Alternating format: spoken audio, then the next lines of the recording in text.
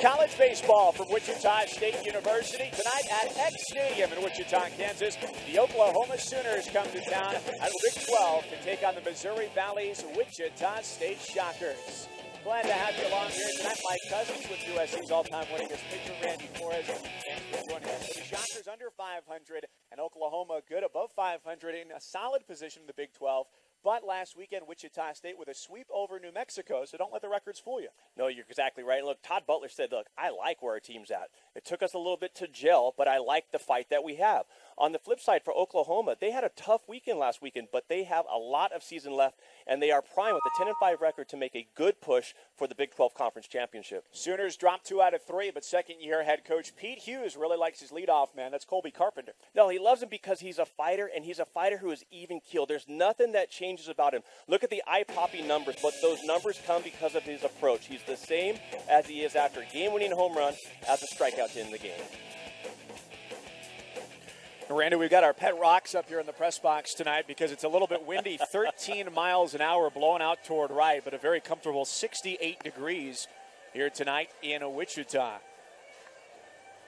On the hill today for the Shockers, making his seventh start of the year, the freshman Tyler Jones. And Tyler Jones is going to be on a bit of a pitch count today. He's a guy who doesn't start with a, and have a lot of stamina. They're saying, look, we'd love to get four innings out of him. And how's he going to do it and how's he going to get there? Well, his fastball ranges on great days, it's 88 to 92 miles per hour. Um, and, and he has the ability to work in that third pitch, that changeup. When he works that in, off the slider, his game's really going to elevate.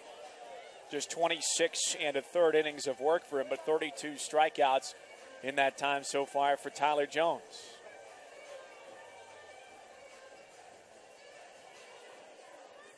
So there you go, that three pitch arsenal. We'll see what they get out of him tonight. Head coach Todd Butler said, hey, look, if we can go yep.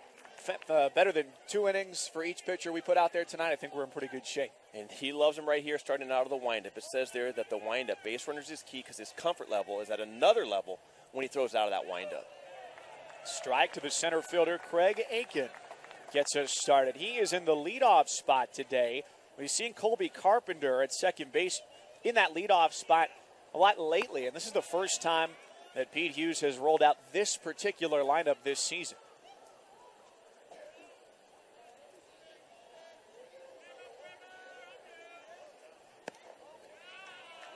Just off the edge, and it's two and one on Aiken.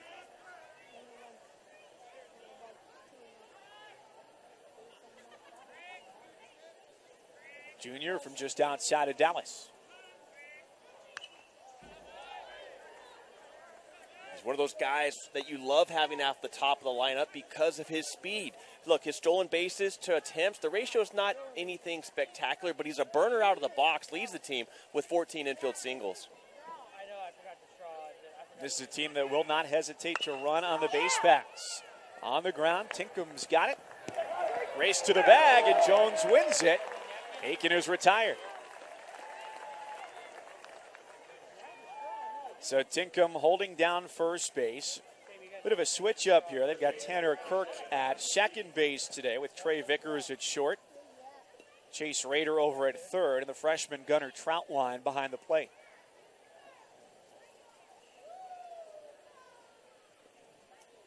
Keenan Eaton in left. Daniel Keeley straight away, and Sam Hilliard out and right. Troutwine back for a look at the first offering to Robert Tessine. 0 1.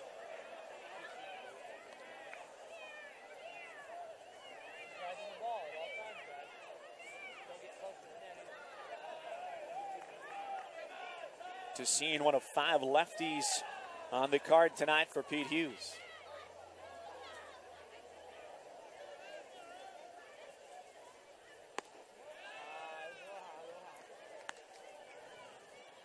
This time of day here, not quite evening, right? Not blazing sun. You have the batter's eye gets a little bit of glare from the sun, some shadows in the infield. About an hour or so, that'll even out here and be a really nice batter's eye. The early part of the game, it's tough for these hitters sometimes, say, because everything else is fine, but that little glare in center field's tough to pick the ball up out of. You get a real late sunset here, probably past 8:30 was where it was last night. That's off to the left and out of play, one and two.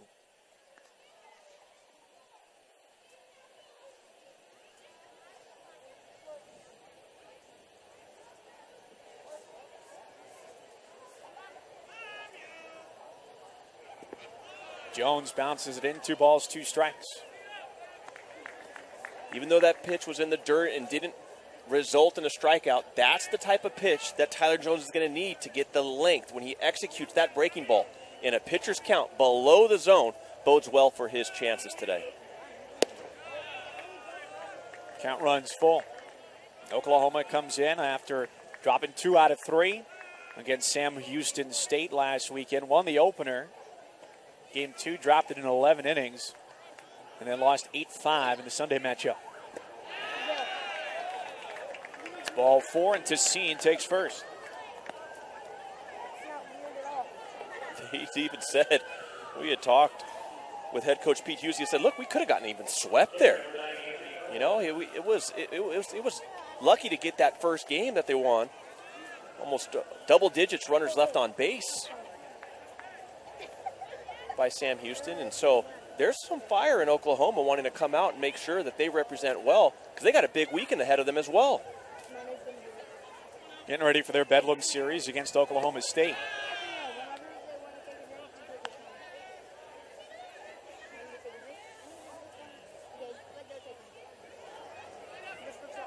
Anthony Hermelin, 296.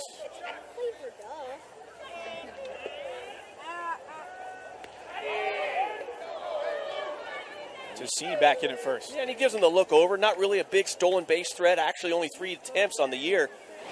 But he is a guy when you have confidence with the guy at the plate. See the little flinch there? You wonder if you start with a hit and run action, especially with the 1 0 count setting it up.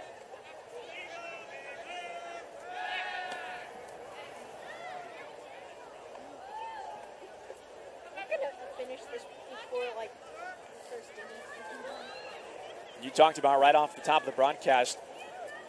Oklahoma trying to be in the race in the Big 12.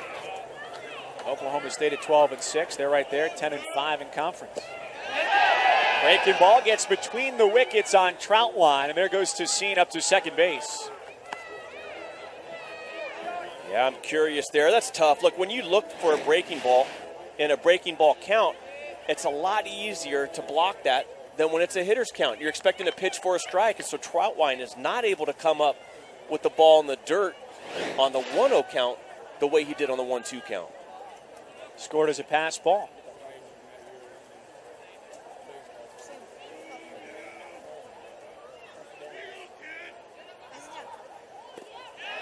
Two and zero. Oh, it's down again. Tassine testing the waters off of second base. Oh, and he is because the ball's darting right and left for Tyler Jones. That's what is going to decide his game today. Ted Butler said, look, we, we might get four, five, six innings out of him, but we might only get one. It depends on how the ball's coming out of his hand. That's between the legs again. Hermelin down to first, and Tassine takes third base. Runners at the corners, and just one down here for the freshman Jones in the first. Yeah, I got a feeling he's going to get a visit here because the ball is just expected here to sink, and instead it's cutting. And Troutwine really having a tough time, and you wonder, you know, when the ball is not doing what you think it's going to do, when it's going left instead of right, right and left, and you add the little glare from the batters, eye catchers have as much of a tough time as hitters sometimes picking up the ball if they're not certain where it's going. It's another pass ball, second of the inning, back to back walks. So three batters in. What do you talk about here after you just talked during your whole warm up down the line? right. You know what? You come out hot. You come out a little strong. You got a young arm, and, and look, we know, we know that this has been kind of an issue that he has to deal with as his season has progressed. But these are the the growing pains. These are the learning steps that a freshman arm has as you take the next step to consistency. So right now, that fastball's not coming out of his hand so clean, and so you got to imagine that pitching coach Brett Kemnitz is saying, look, just like you did in the pin, just like you warmed up, do the same thing here. And it's not as easy as that, though. And it's first and third with Sheldon Neuse, the cleanup man, ready to step in. I'll never forget, I was once told by the great Orel Hershiser, who was my pitching coach with the Texas Rangers. It was a big situation. Said, Randy, just do exactly what you do in the pen, do it in the game. I took a big breath, I threw a breaking ball, I gave up a three run home run. Not that easy.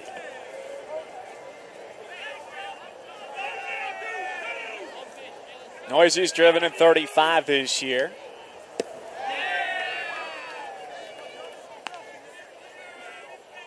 Jones has been keeping it low, a little bit too low. Would love to get a ground ball here.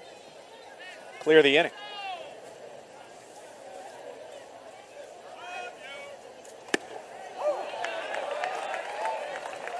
So then, after you gave up that three-run home run, then you said, "Well, what kind of advice is that, right?" Well, I had some time to put that advice into action because I then spent the next two years back in the minor leagues. Was sent down that day.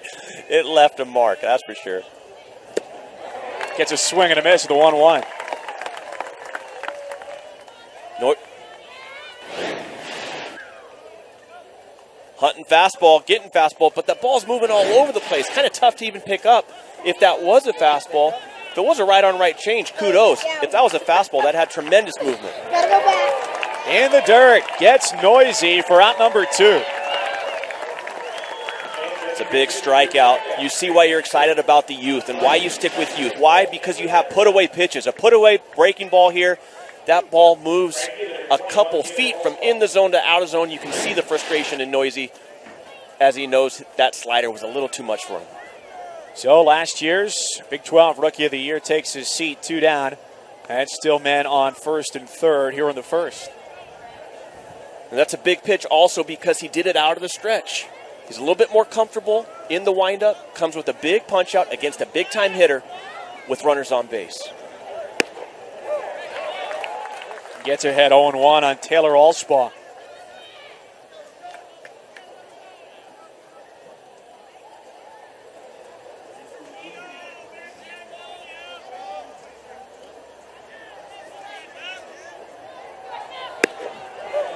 Oh one in for a strike. Nobody covering second base. So Hermelin takes off, and he's got the bag. It's runners at second and third. Nice job taking the little opportunistic extra base there. Blue Pit now scores two.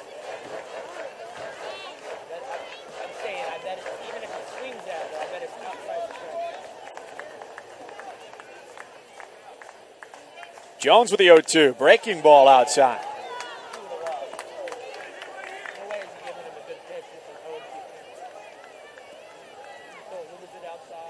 Is fun to watch the movement on his pitches. You go back to that second to last Mhm. pitch to Neuse before he struck him out. Might have been a fastball, but it certainly had a lot of life on it. All over. the zone. Now he's got to trust that Troutwine can block this one. This one lifted into the air right field. It sends Hilliard back, and he's there to make the grab, even with the wind behind it. So Jones works himself out of trouble.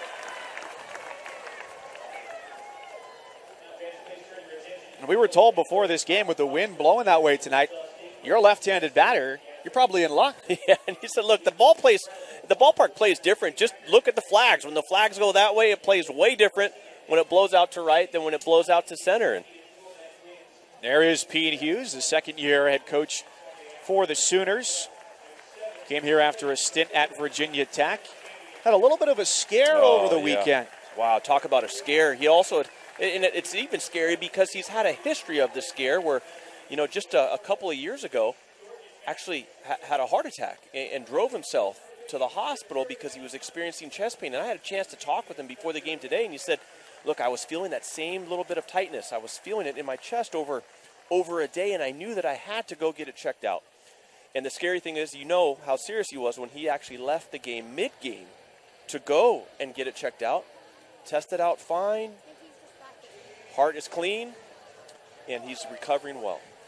And Todd Butler, also in his second season at the helm here at Wichita State, a former assistant at Arkansas before taking this gig, and also played the last two years of his collegiate career at Oklahoma, 1987 and 1988.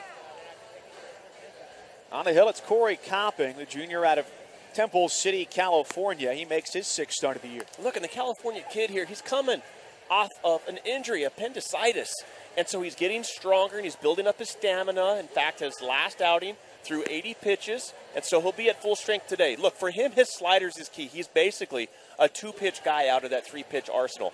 But when his slider is on, Pete Hughes says that he can really get through a lineup multiple times when his slider is thrown both for a strike and as a put away punch out pitch.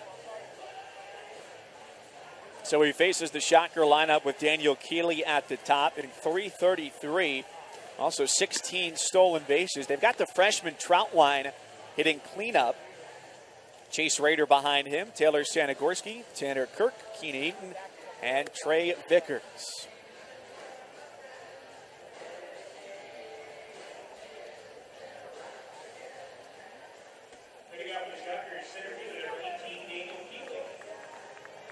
Copy, you saw good numbers.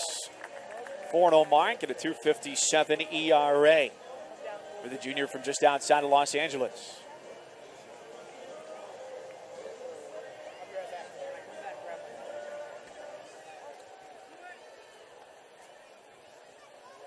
Keeley, the former walk on, leads it off and takes strike one.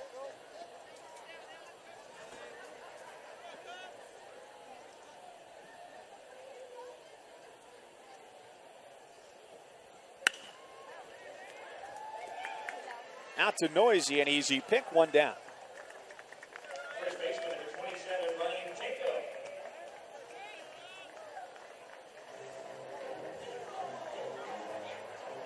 On the infield for the Sooners, Tyler Coolbaugh gets the call at third. Neuse at shortstop.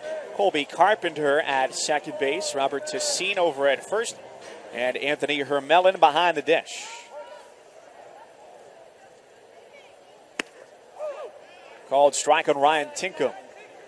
It's a good look at them. They, they got a good squad here, Oklahoma does. They got an experienced squad, a, a, team that's set up for a deep postseason push. And they got a little chip on their shoulder after taking a tough series last weekend against Sam Houston, where they very easily could have been swept.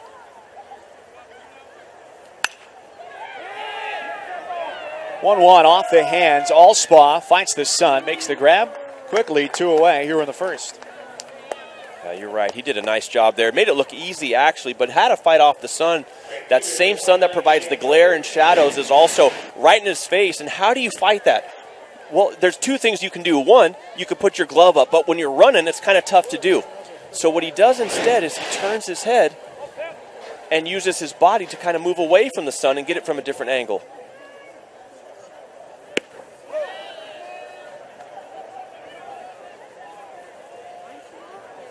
Sam Hilliard, team leader in RBI with 38. Two out, and nobody on. Last of the first. Quickly, no balls and two strikes. A pitching coach's dream with all these first pitch strikes from Corey Copping. First time that these two teams have played since 2009. Etna Regional in Norman. And it was a win for the Sooners. Lifted it to the gap, right center field. This will be extra bases for Hilliard. Taking the turn at first and pumping the brakes at second. A two out stand up double for Sam Hilliard. He's got that swing that just look easy. Look how calm his body is. That's all hands right there. There's not a lot of effort in the hips, not a lot of body movement. Puts that ball in the gap, and he's thinking three out of the box here. You wouldn't think that normally out of your three hole hitter, but he's a burner, an athlete. Guy who has a 4 1 down the line. Todd Butler said he is an absolute beast and is turning into a hitter when many thought he was only a pitcher.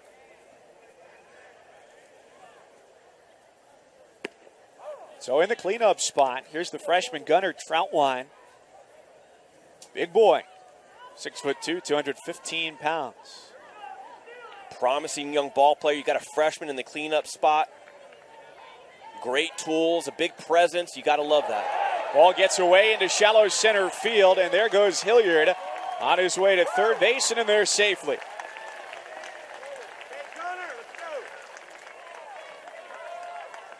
You wonder you have the move to second base. Why? Because you do have an athlete on second base. You have a guy who can steal one, and so that's a set play there. And actually, is a pretty good throw. I'm not sure what happened. It wasn't launched into center field. There wasn't flying over your shoulder. But regardless, unable to come up from it. And now that little breaking ball could produce a run if Anthony Hermelin is not able to block it. Scored as an error on Copping the pitcher. Up and in, and that plunks Troutwine. I think it got helmet. It sounded like it got shoulder and then helmet, maybe. I still don't know how you just shake off a ball like that. That's scary when it comes up and in like that. No hitter likes that, and it did. You called it. It glanced off the shoulder and then looked like it got the bill of the helmet rather than square. And look, he's still able to shake it. Don't kid yourself. That hurts like heck. Knocks you on the shoulder, but luckily able to glance off his head, and he looks like he's all right. Got to be tough to play behind the plate. Troutwine takes it on the shoulder, down at first. Runners at the corners for Chase Raider, the number five hitter.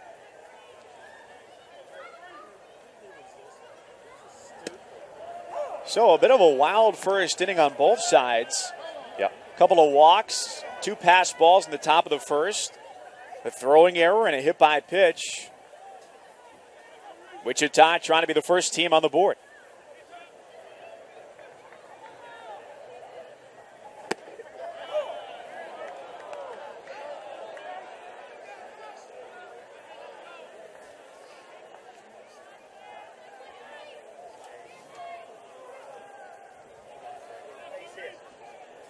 2 on Raider, the transfer from Coffeyville Community College.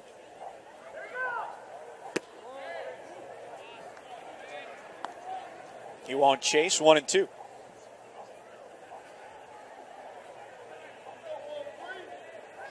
Copping went with the fastball there. When he gets his full strength, he can run it up to 92 93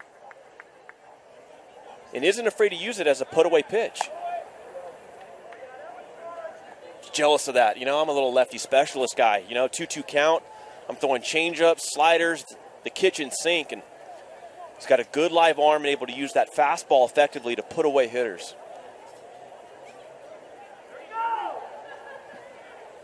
One, two. And the breaking ball gets him looking. That retires the side. Both teams threaten in the first frame. Neither scores as the Sooners and Shockers combine to leave four runners on base. The end of one here in Wichita. No score between Oklahoma and Wichita State. College baseball is brought to you by the world's most flyer friendly airline, United. Fly the friendly skies. And Golden Corral, featuring unlimited fall off the bone baby back ribs. Dinner's just $11.99.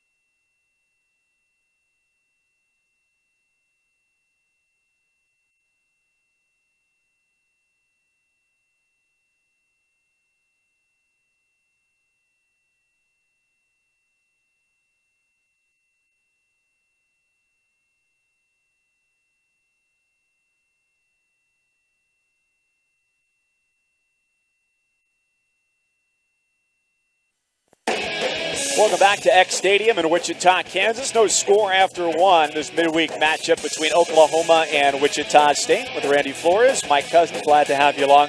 A Wichita team, Randy, 17 and 26, and their record perhaps could be better if not for some injuries to their rotation. Look, and that's not just any guys, that's one and two. Those are guys you're expecting to carry you. This team had 25 new guys on the roster, and it's going to take some time to gel. And then they took another hit when one and two go down that early in the season. They found their footing, though, and they've swept this last weekend. Got the sweep against New Mexico. Tyler Jones, who issued a pair of walks, ahead 0 1 on Colby Carpenter. at a sizzling hot 370. We said right off the top of the broadcast, here's your leadoff guy, and he has been as of late hitting six tonight in a lineup mix and match that has not been used so far this year by Pete Hughes. But Carpenter, more than anybody else on this team, has hit in the sixth spot, 18th time tonight. It's like unconscious. You know, when you're just this hot, it's not just hot. You're just Colby Carpenter. That's all you are. You just rake. And what I loved is that they said his even keel demeanor is he's the same after a punch out as he is a four for four day. He goes up the middle over Jones into center field. And the Sooners have their first base hit of the night. he's he's used to that. That's just Colby being Colby. More great college baseball here on ESPNU with top ranked LSU. Kade Scivicque, Alex Bregman, Mark Laird, and the nation's number one team on display. The Mighty Tigers face the Dogs in Starkville. It's SEC baseball on ESPNU. LSU, Mississippi State, Thursday, 7:30, and Game Two Friday at 8. LSU this week, number one, not one but two, all six holes. Number one for the Tigers. I think that's called unanimous. Yes. You catch that series last weekend with A&M? Oh, it was a good one. That was exciting to watch. Walk off, some big punch outs, electric atmosphere. Dad, can we say Uh, that ballpark can be some fun. Yeah. They battled some rain, and I think this past weekend, I know the school was on a limited schedule, if not closed for a day or so, but some damage to athletic facilities there too, with some of the big storms that rolled through. They'll be playing in Starkville this weekend.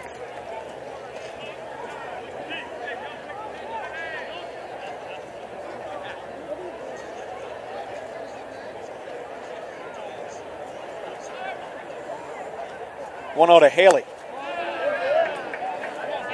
Where the 1 0 count might have been a spot for a little of a chance of hit and run with Colby Carpenter. Now the 2 0 count, your left hander up. My thought here is let him swing away without any offensive action. roommates sitting back to back in the lineup. Carpenter and Haley, and they both find success. This is all the way to the wall. Carpenter takes the turn at second, stops at third. It's a stand up double for Hunter Haley. All of a sudden, some trouble brewing with the Sooners. Second and third, nobody out. Hunter Haley has pop. Yeah, his batting average only 207, but he has nine extra base hits because of this type of swing. When you make a mistake, in or half to Hunter Haley, just like a lot of lefties, they love that ball there. He puts a great stroke on it, has easy extra bases.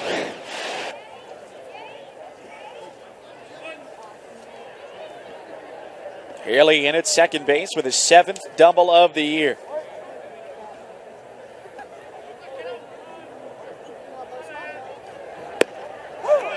Breaking ball for strike one to Jacob Evans, the designated hitter. At a broken arrow, Oklahoma, same hometown as pitcher Archie Bradley. Just five for 15 this year.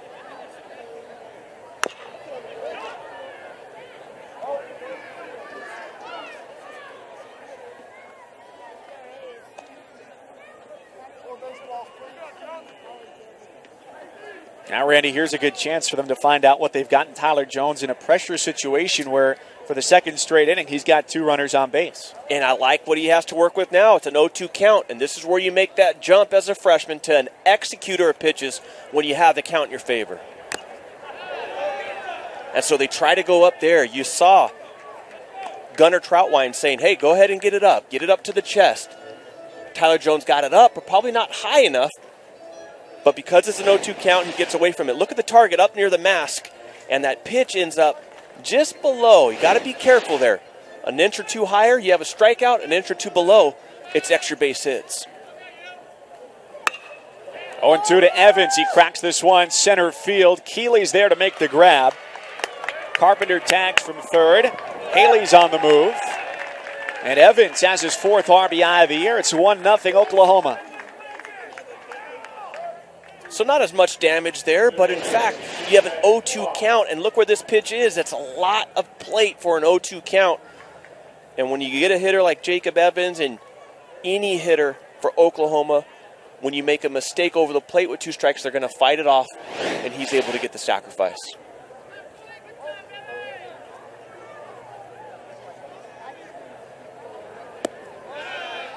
Joe runner at third with one away. And it's to the nine spot in the order. Tyler Coolbaugh, the third baseman.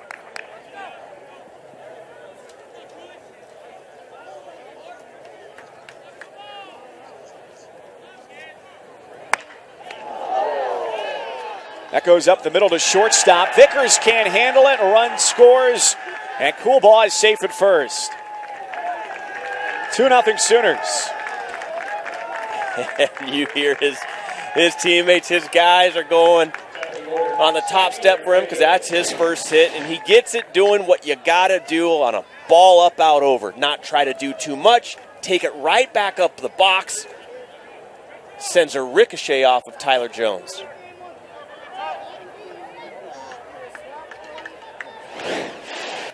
You get down to the bottom of the lineup tonight for Oklahoma, eight and nine. Evans and Coolbaugh Guys who don't see a ton of time. And they produce back to back run scoring plays. It's a base hit for Coolbaugh, back to the top and Aiken. And that's what you need. Look, you know what the top half of the lineup's going to do, but if baseball was based only on the top half of the lineup, that's not a full, complete team. And so, if you're going to make a deep push and if you're going to rebound from losing two out of three last weekend, you're going to have to have new contributors. And how important is that to get full lineup production, especially if you want to make a postseason run? Hey, look, I played with the great Albert Pujols. Albert Pujols only gets to bat the same amount of times as everyone else. You have to have guys up and down the lineup come through, like you said, for a deep postseason push. You can get there with just a star or two, but to excel and win, you have to have, have, to have production from one through nine.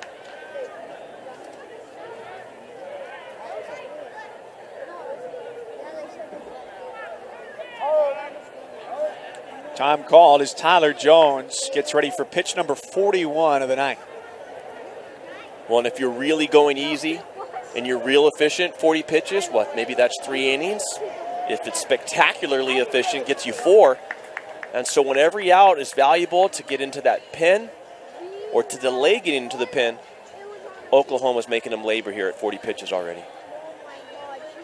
Second visit in as many innings for Brent Kemnitz, the pitching coach sometimes you wonder look, is he talking mental? Is he talking a pump up talk or mechanics? And right there, it's evidence. He sees something in his delivery and he's asking him to get his delivery together to execute pitches. We see the stuff, we see the great slider, but it's the delivery that makes it consistent to execute, and there's now action in the pen. It's the senior out of Texas, Ray Ashford, getting loose for Wichita State down the right field line. On his radio show last night, Todd Butler said this is the type of game where if we could avoid having pitchers go for two inning stints, we'd be in great shape. Right. That's an ideal situation. Yes. Freshman on the mound. Don't always know what you'll deal with. Well, and look, he's been dealing with non ideal situations all season, starting out with the injuries to Tavis and Schwanke. Ball in the dirt to Aiken earlier this year set a single game record, six hits in a game. Put himself over 200 hits for his career.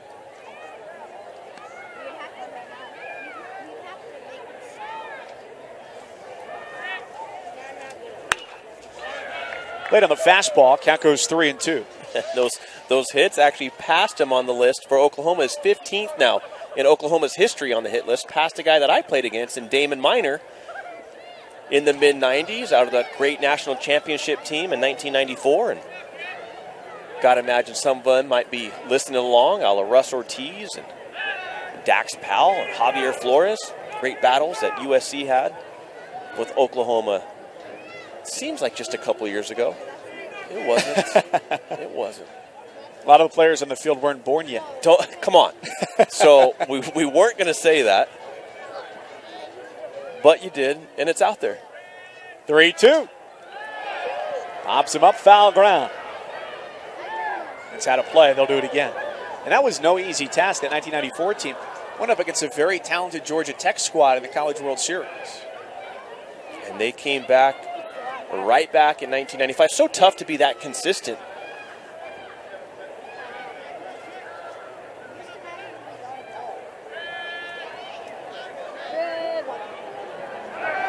Second time on a 3 2. Rope to the gap, right center field. Hilliard cuts it off as Coolbaugh makes the turn first to third. And it's runners at the corners as Aiken has his first hit. It's another hit in a season full of hits for Craig Aiken. 15th all time. Again, it's a ball up, out, over, and you're not seeing a huge swing, but you're seeing just a great, fundamentally sound swing that gets another hit and another run across for the Sooners. And it looks like that might be enough here for Tyler Jones. So Todd Butler is on his way out to the hill. That's a pitching change. The day is done after one and a third for Tyler Jones.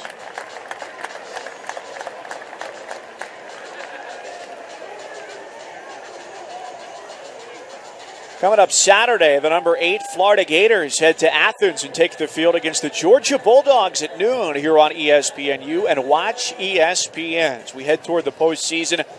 RPI is an important number to keep an eye on. Not only are the Gators number eight in the poll, but also number eight in RPI. They've got some work to do, though. They lost two or three against Kentucky last week, so they got Georgia now yep. off in the middle in the midweek, and then next weekend will be a really big series for them against the SEC leader in Vanderbilt. It's crazy how the season can go really, really quick from saying, "Oh, there's lots of season left, we got a lot of time," and then you blink, and with one or two weekends, it's like, wait, every game here is huge for our season, our conference, and our RPI.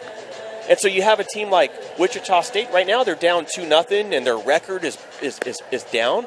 But look, with that conference championship, that really puts an opportunity for a lot of teams to surprise the field. And the MVC tournament will be here in Wichita, so home field advantage. Ray Ashford out of the bullpen, 11th appearance this year, and he's got some work to do with runners on first and third and just one down here in the second. Sooners already out in front, 2 0. Look, and his job is really here just to stop the bleeding. He's not their typical long man, not their typical stopper, but by stopping it here, it's only a 2 0 game in the second inning. It then gives Todd Butler a chance to get to his normal long guys and his normal back end of the pen.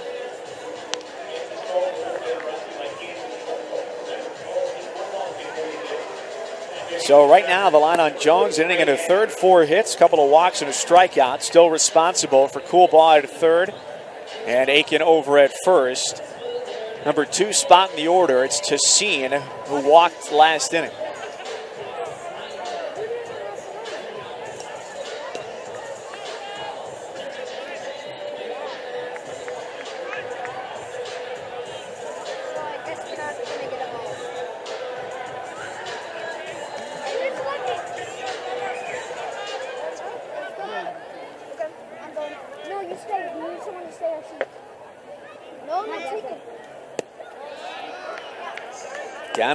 Ball one onto Sheen.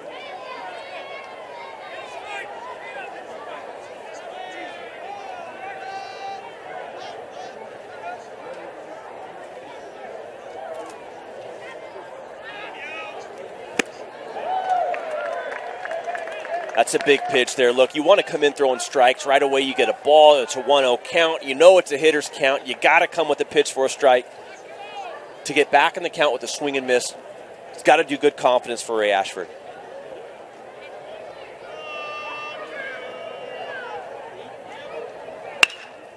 That's through the whole left side. It gets another run home. 3 0 Oklahoma. Coolbaugh scores. Aiken moves up to second base to Scene with RBI number 12. Goes the opposite way to get it, too. You don't have to do too much for an RBI. You just got to put a good stroke on it. The ball's up enough where it's a firm ground ball rather than a soft ground ball. It's an RBI instead of a ground ball double play.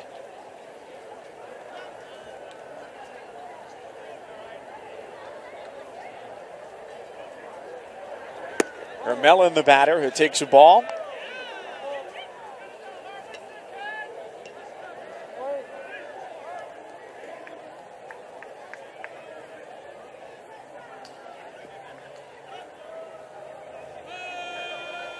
Ashford on the hill worked once in that weekend series against New Mexico. Went two and a third and gave up a pair of earned runs.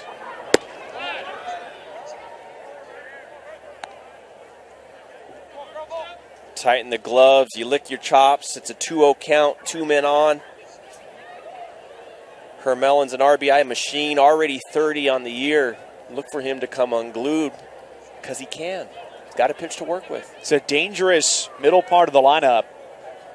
Three through six, all run producing machines. Swing and a miss. Unexpected throw for Tinkham down at first base. He wasn't on the bag. Yeah, trying to steal one out there. And look, Hermelin did come unglued there 2 0. Big boy hack. Going for it. And you're going to see a 2 0 hack. And I like that because that's what you do 2 0. You know you're going to get a pitch to hit, so you come unglued once. And you don't do that again after this.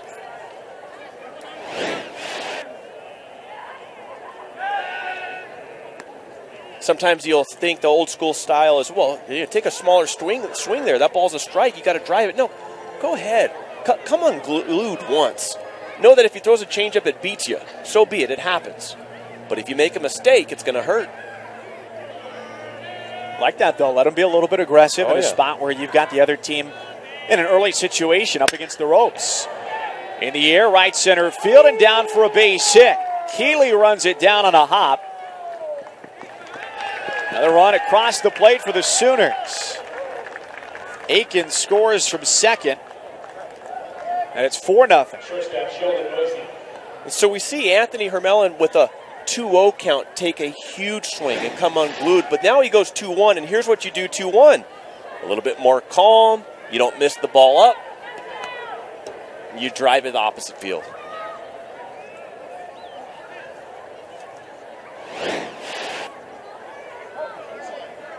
Seven batters have come to the plate here in this inning.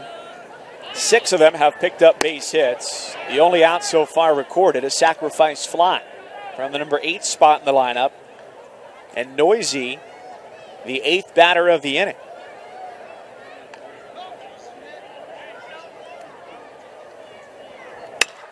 And he rips this one over the third base bag. 5 0 Oklahoma. Neuse with his 36th RBI of the year. To Seen home from third. Hermelin to second.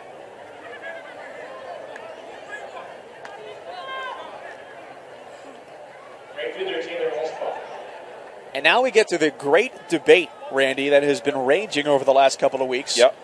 Ever since an article in the Wall Street Journal by Jared Diamond started the whole conversation. Is nine players, as we have here, batting around in an inning, foul ball? Or is it 10? Are you team nine This or are you team 10? This is a the great debate. This is almost right up there with is the, is the dress purple or blue? What was that other great debate we had? It was uh, gold and white or black and blue. Sorry. So now I we've reached tell. the second great debate of 2015. Take that, Congress. So what do you say? Are we are, have we batted around, or do we need one more batter? I, you know what? We got to take it to the fans. Coleman Hill with a good showing tonight. It is. That's a good place to watch a game. You know what it is tonight? It's 50 cent dog night. So you get a dog, you go up on the berm. That was why you asked for this game, right? 70 degrees. You should see all the wrappers on the floor up here. Oh, I love a dog. Eaton's in on it in the shadows. Out number two comes with the ninth batter of the inning. You know what I saw too? Those fans, I, I think they were a little, a little ticked out there on the berm. They come to watch a good game. They go to get a 50 cent dog. You know what they say? There's a limit. You know what the limit was on dogs at one time? 15. You could not order more than 15 dogs at a time. That's impressive. Thinking of the single person who's ready to break that barrier with a 16 dog order and say, no, no, no, 15's enough. Restraint, please. Yes. Kolbey Carpenter led things off. I'm a member of Team 10. I'm of the opinion that 10 players is batting around. Gets you back to the beginning. Yeah, I, I, I agree with you there. Okay. It- the, the debate, I can tell the debate was big. It was weighing on you. I'm on your side on this one. Appreciate that. So we've now batted around. Batted around. The 10th batter of the inning, the man who led it off. is batting around. Carpenter takes a strike. He led off the inning with a single back up the middle and came in to score on the sacrifice fly by Jacob Evans. So big inning here for the Sooners, who have won the last seven matchups against the Shockers. And they've done it not with no home runs yet. Single, single, well hit ground ball opposite field, extra base hit. They've attacked, they've attacked the gaps, and the wind has died down a bit Mm-hmm.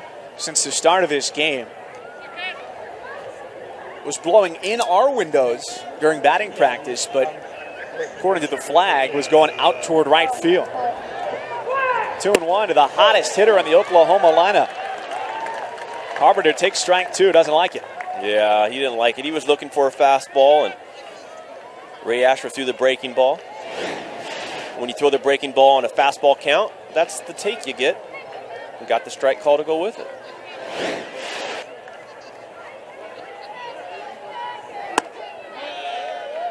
Say that only that's the take you get because he kind of flinched there, right? You're looking fastball, and so if you throw that in a 2 2 count, that breaking ball up in the zone, you're certainly not going to get a flinch you're going to get an aggressive swing. But he was locked in on one pitch, one zone. Tip your cap. He made a pitch.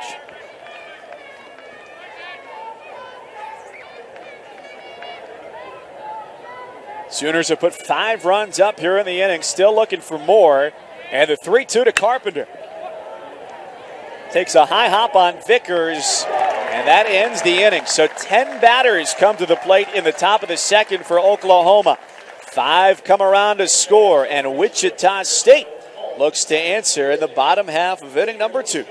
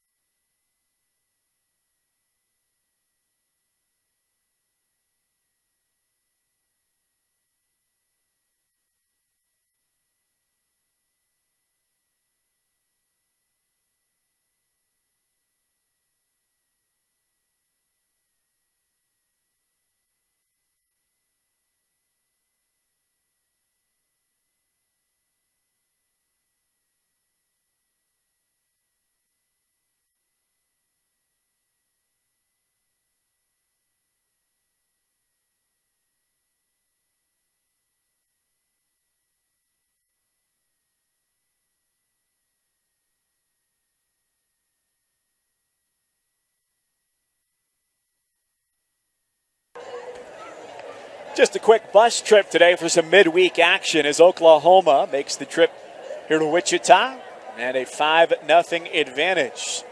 Shocker faithful out in full force here tonight. Beautiful weather, mid 60s, a little bit of a breeze. Team coming off a sweep against New Mexico. And now trying to get the offense going with 6, 7, and 8 coming up. It was a quick, easy trip, right? A three hour bus ride or so. That's nothing. You want to go play in the minors? Oh, I was going to say that's my commute to work in Los Angeles. so, yeah, piece of cake. You ever play in the Texas League? No, I haven't. You're lucky. Those are the those are like the 10 hour bus rides. Yes. Oh, So Taylor Sanagorski, the DH, leading things off. Hitting 333 when he starts an inning this year, just 182 on the season. So pitching now, you've been sitting in the dugout for 25 minutes. What's it like to get back out there after that long layoff? well, there's two things. One, you're pumped. You got a 5 nothing lead. But two, that wind's getting on him a little also, and you got to make sure that you stay warm. And so then you're on the edge, right? You know you've got to be aggressive. The last thing your coach wants to see is you walk the leadoff guy. At the same time, the Wichita State Shockers are going to be aggressive, so they're going to swing. But he's got a pitcher's count. It seems to shaking off the rust of sitting down. And as I say that, he throws one 42 feet to home plate. Two and two.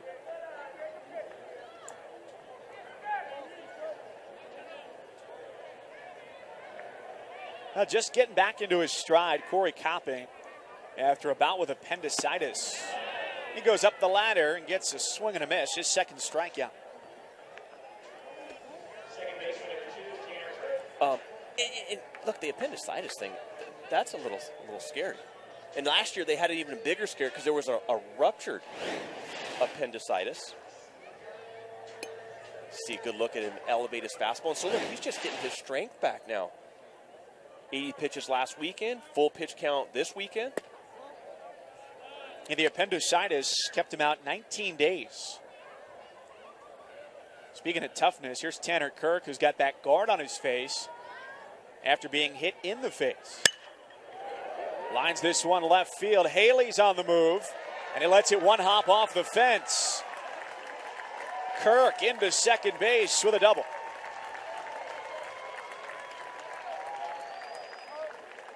His 10th double of the year. Look, there's some side of toughness. When you take a ball up high, how hard that is to stay in. And so he faces a right hander now. He's back in there. He has the helmet for protection, gets a ball up and in, turns on it for his 10th double of the year.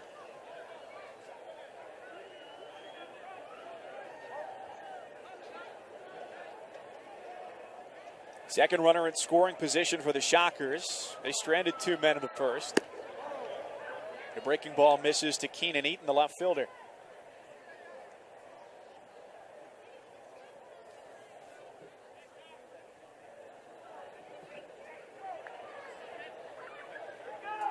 Freshman coming out of high school. Got selected in the 39th round, which is the second to last round after they trimmed down the draft a few Uh-huh. years ago by the Phillies. Took a couple weeks.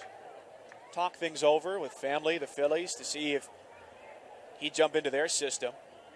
But ultimately decided to put the draft off for a few years, come here and play for Todd Butler. We talked with Todd Butler and both Peter Hughes. They said the same thing. That's the hardest thing among many. Limited scholarships, not a full scholarship deal, but you have the draft to contend with. And so you plan for a certain amount of guys to show up, and then the draft takes some or doesn't take some. And you have to adjust accordingly. And it's one and two on a fastball. So sometimes, look, you expect guys to get drafted and leave. And then they come back. And you got to be ready for that as well. That played out most recently with college basketball players deciding whether they're going to go to the NBA draft. You watch schools like Kentucky. Here's a throw down to second. Kirk is in safely. So they got to figure out well, who can they bring in next year. Okay, they lost seven guys to the Right. draft, but it's the other way mm-hmm. in baseball where you don't know if a player coming out of high school is going to go sign with that team, and the team that you put together a few months later might be entirely different. Well, look, even in basketball, they have to come. It's either go t- to the NBA out of high school. Very few do, or it's one You can't right? anymore. Right. You that's can't. what I'm saying. Yeah. So that that now that that now is even taken away. And then you have the deal where, like in, in, in college football, they'll you have to declare, right? And so Right. it's baseball is a real unique situation because you're kind of in no man's land, both as a player and as a college coach. And then let's not let out the MLB teams who think guys are going to show up, but then choose to go to school. Payoff to Eaton. Got him swinging. Breaking ball down and away. Third strikeout for Copping. But you know what? At least for the MLB teams, Yep. you don't sign, let's say, a first round guy. You've got a, compensa- a compensation pick the next year. No, you're exactly right. You do, and you get comped. And here, no coaches are getting comped as you're getting a good look at that breaking ball of Copping that makes him such a weapon when it's both his fastball and slider are on. But you're right, Mike. That is a tough situation. No compensation scholarship. here you So to say for the college supplemental recruit coach. pick. Snap throw to second. And Carpenter takes it on a hop as they keep a close eye on Kirk, who has not stolen a bag this year. 0 for 2 on the base paths. 10 batters came to the plate, top of the second for the Sooners. Right now, the first time through the lineup, Trey Vickers in the nine spot for Wichita State.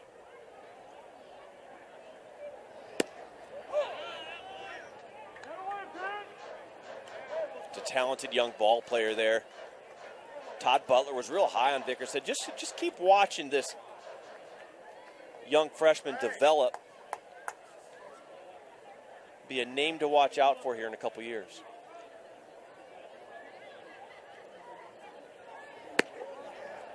Just off the edge, one and two. You want to stay with us next inning. We're going to talk with a former shocker, Matt Brown. Made one of the most notable catches in Wichita State baseball history.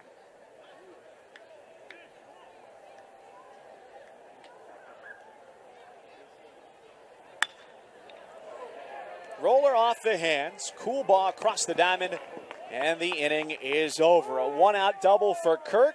Copping leaves him on the bags. Sooners by five as we head to the third in Wichita.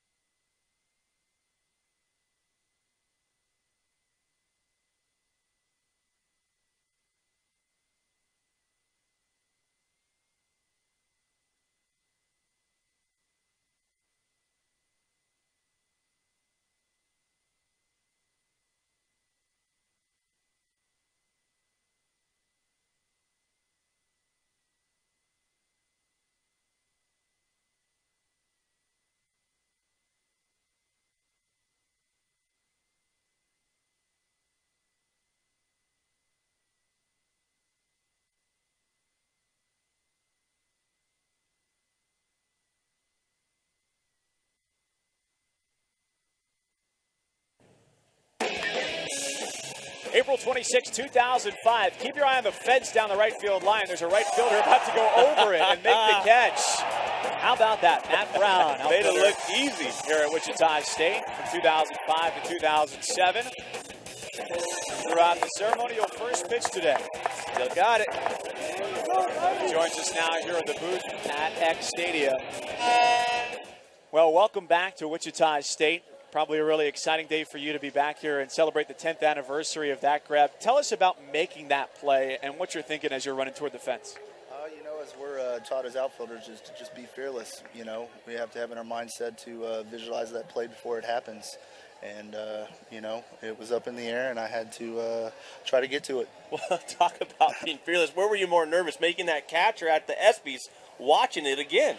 Uh, you know, to be honest, I uh, felt a little bit out of place at the ESPYs. You know, uh, I was definitely a fish out of water, and uh, you know, got to see some famous faces there, and it was a joy. And uh, it's one of those moments that I'll definitely carry with me for a long, long time.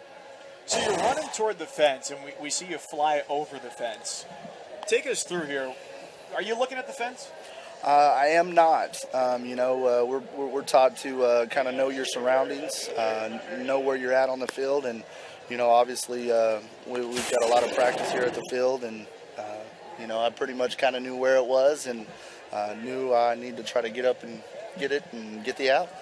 What did it feel like to hit the ground there? uh, you know, it wasn't too awfully bad. Um, not too, not too bad at all. Um, it, uh, it definitely, uh, it was kind of like a uh, out of the movie Matrix. Um, you know, everything kind of slowed down for me, um, so it went well. It's not too bad. How about, were you sore? I mean, that looks like that's like a little mini car wreck. I, am I'm, I'm sore watching that crash. No, I was definitely a little bit younger back in that day. Um, I could kind of take a blow uh, like that. This this day and age, I probably could not. I'd probably be uh, hurting for a little while. Hunter Haley leads things off here at 7, 8, and 9 in this third inning for Oklahoma. Two times up and two doubles for Haley, so he's in scoring position. Jacob Evans coming up. So that play gets nominated for an ESPY, and you said you felt a little bit out of place there at the ceremony. What's it like to be there with all the glitz and glamour, and you're saying, "Hey, here I am as just a college baseball player"? Uh, you know, my dad taught me to uh, stay pretty humble. You know, uh, he uh, he uh, done a great job raising me, and you know, I just kind of tried to soak it in and, you know, say a hi here and there, shake a hand, and, you know, try to put the celebrity shock aside and enjoy the moment. Talk about enjoy the moment. I'm here nervous thinking, okay, my first thought is, what am I going to wear? I mean, come on, I want, I want to know about your duds, right? the, the suit you picked out, the tie, who did your knot? Uh, yeah, you know, uh, it was one of those things where, kind of like my wife now, she uh, I got dressed. So, uh, you know, my wife she uh, she picks out my apparel nowadays and makes me look kind of nice. You know, before the game, you know, the guy got to talk to the guys a little bit and Yeah. kind of got to tell them they uh, she uh, picked out what I'm wearing today. So, I kind of had that done for me. That's a safe choice. You can't lose that way. Yep. you What's your wife's definitely name? Uh, wife's Tessa Brown. I got a little All baby right. girl, Lola Brown, as well. Oh, that's wonderful. So 2005, we were talking about this before the game. This one's ripped out toward left field by Evans. Eaton runs it down. Haley takes the turn at third. He's in to score. And Evans is in with his second RBI of the night. 6 0 Sooners.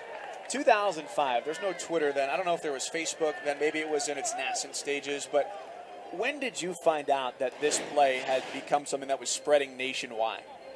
Uh, you know, we kind of had a little bit of an idea. You know, I think we uh, just finished up just in time uh, to uh, be able to watch Sports Center. Um, and it was actually already, you know, we kind of finished right in the nick of time to be able to make it. I believe, uh, if I'm not mistaken, uh, I believe it was it was kind of thrown in there with the category with A Rod. Um, I believe he hit a he had a three home run game type thing, and uh, it ended up making in there number one, slipping in at one. I think A Rod was two, so um, we knew pretty quickly um, that it started spreading. You know, after we were getting out of the showers and everything else. So. So after a couple of years here at Wichita, you went on. You got drafted by the Indians, 13th round in 07. What was it like moving on in your baseball career? Uh, it was great. You know, uh, growing up, you know, that's what you strive for. You know, you, you you strive to get that opportunity to play at that next level. Um, and it was a huge blessing to be able to have that chance and, you know, even, um, you know, get men- mentored by, um, you know, someone other than even Gene Stephenson. Down the left field line, a sliding grab for Eaton. He loses it, taken out of his glove. They uphold the catch, and there is out number one to get Tyler Coolbaugh. It's a lot of ground to cover, and the big thing here is how are you going to slow down? And so the best way to do it is to do exactly what he did there. You're not going to thump your feet. He takes a nice, easy slide, makes the catch first, loses the ball in the transfer. All right, well, 10 years. Does it feel like 10 years since the catch? It does not. It's making me feel old. It does Yeah, not. me too. My partner here, I don't know if you heard earlier, mentioned how old I was. You know, it's uh, it's definitely a joy to get back in front of the fans, though, for sure. You know, uh, it sure is. Well, thanks so much for being here, and uh, congratulations on uh, coming back and throwing out that first pitch. Well, I appreciate that, guys. Thanks for having me. All right, thanks. enjoy the night. So nothing in one. Back to the top of the lineup with Aiken.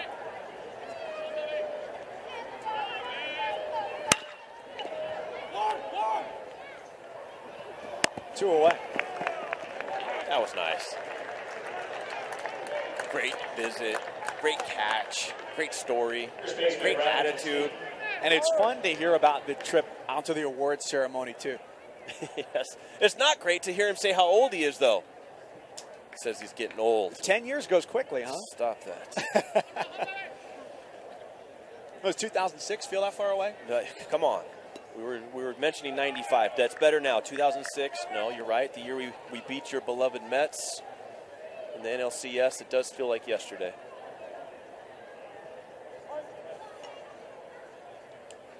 Here's Tassine. One for one, a walk, and an RBI single.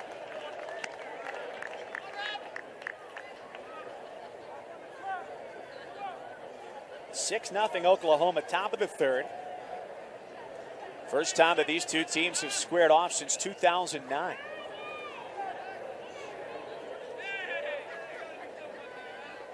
Ray Ashford on the hill, replaced Tyler Jones, the starter, who went an inning and a third.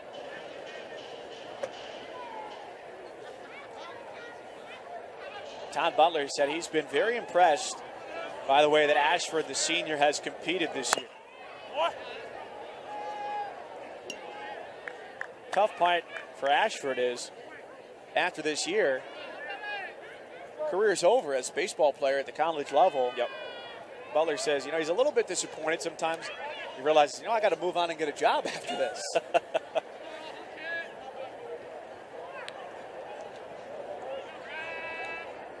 Oh, and 2. Got him chasing outside edge.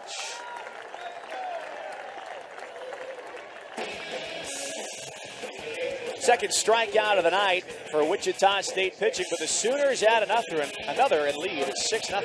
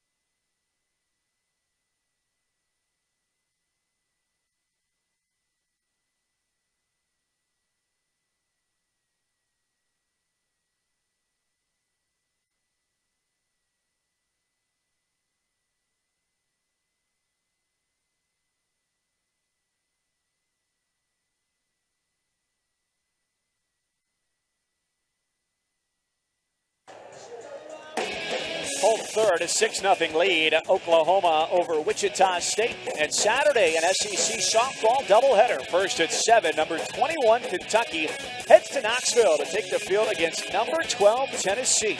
And at 9, Arkansas hosts number 6, Alabama. Both games show on ESPNU. Also available live on Watch ESPN.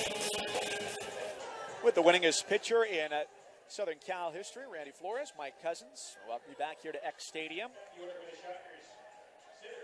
Shocker faithful. You'd expect to see just mounds of hot dogs around there tonight, but apparently the limit is what 15. You can Hey, go to 15 don't kid yourself. We're going to have mounds of hot dogs up here in the press box soon, all right? Extra onions, relish. That's why you Warm ordered, it up. That's why you ordered the salad at lunch. Just some balance. It's the top of the lineup for Wichita State. First time through, Shocker has collected two base hits. There we go. Is it? That looks. No wonder why there's a limit on 15. They're like the size of a thumb. I'm hooked. No, that's a good size hot dog. They're popular with the dance team. there we are. They're popular with everyone. They're going to be popular up here too in about a half hour. Keeley takes it down the middle. One ball, one strike. Grounded out to shortstop in the first.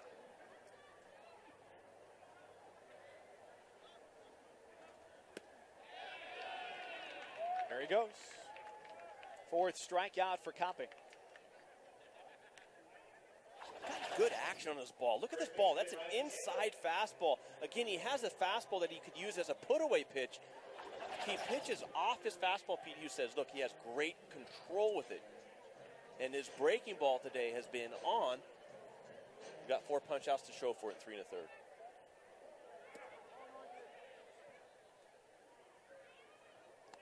Easy to say he looks rather confident, but with a six run backing, mm-hmm. probably pretty easy to do. I might even get confident on the mound down there with a 6 nothing lead.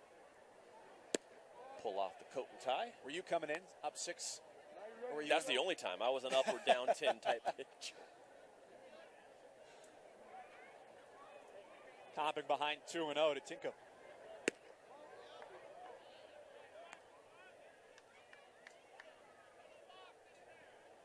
Well, they recruited him as a catcher in the lineup as a first baseman. And his ability to throw the ball has been somewhat limited because of a couple shoulder surgeries, torn labrum. They couldn't use him to throw in the fall. So they've stuck him over at first base. Uh, that's a great bat to have in the lineup.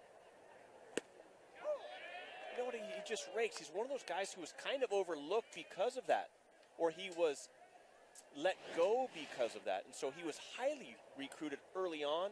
A lot of people shied away from him because of the surgery, but not Todd Butler. And he's got a walk to show for it, along with that high batting average as he continues to heal from his shoulder surgery. Yeah, he's now been on base in 42 of their 44 games this year. So he takes the first walk of the night from Copping. Number three spot, it's Sam Hilliard.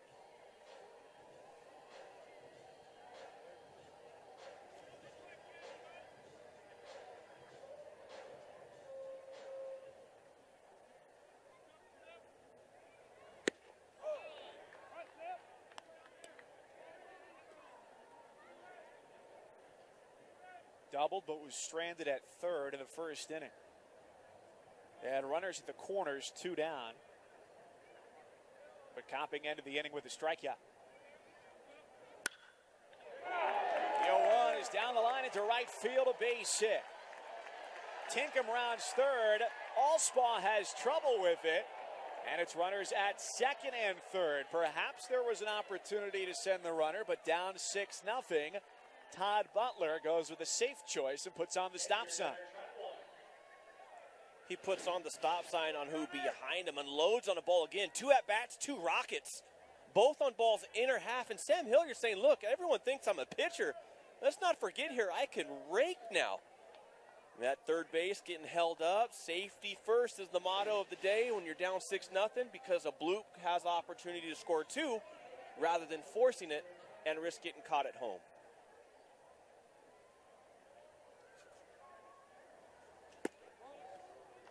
Gunnar Troutwine in the cleanup spot.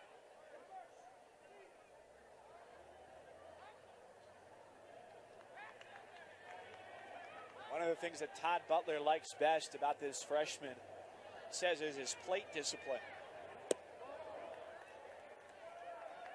A good spot to show that off here. Well, it's a lot of respect for your freshman when you hold him up at third base because you know, look, this guy can produce. Let's not force it. We got a guy who can bring in a couple. In the dirt, it bounces away from Hermelin. Here comes Tinkham in to score. Both runners advance, and the Shockers are on the board. It's six to one.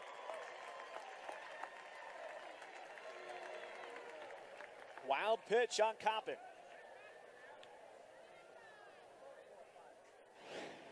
Tough to pick up again when you're expecting a strike to be thrown. 2 0 count. You're not ready to get on your knees and make a block, and scorekeeping reflects that with the wild pitch call. Taken all the way, three and one. There's that plate discipline. They didn't have to swing the bat and a run comes in. Genius.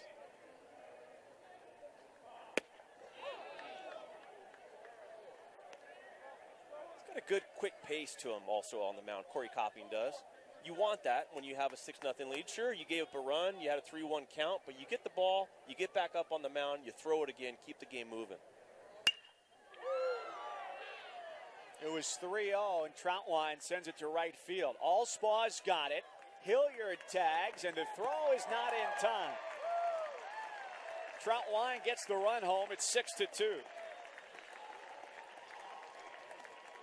Well, you hold up the runner on third base, hoping for two runs to come in with one hit. Instead, it takes a wild pitch and a sac fly. The result's the same, and they close the gap.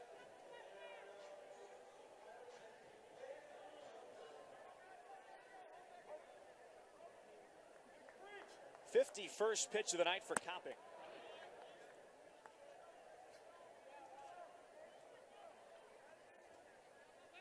For perspective on how the other side has gone, Tyler Jones, the starter for Wichita State, went one and a third and threw his 40th pitch in the second inning, where the Sooners brought 10 batters to the plate.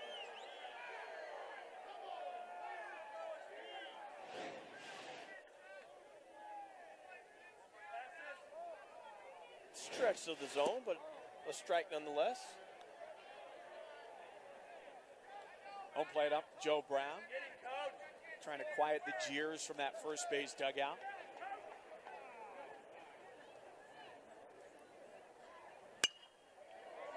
Off the hands and out of play.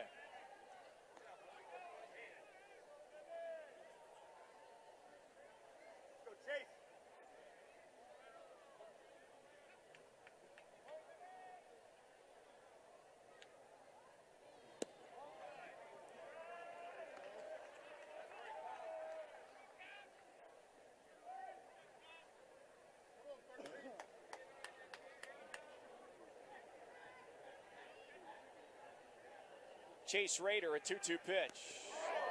Second hit batsman of the game for Copping. Both against right handed batters. They took it on the shoulder both times. Not intentional, obviously, but both have missed up and in. Not really anywhere close to the zone. When you try to rush and you try to hump up and you throw it inside, your margin for error is already smaller when you're going in there. Gets scary when you miss up and in.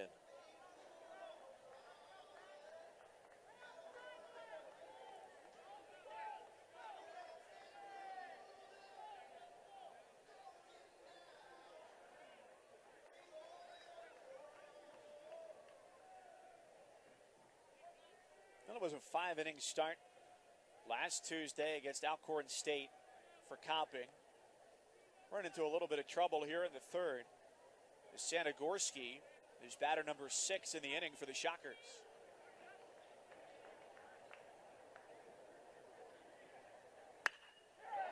This one lifted out to right field. Allspaw is back at the wall, and that ball is out of here. A two run shot for Sanagorski, his second homer of the year, and it's a two run game in Wichita.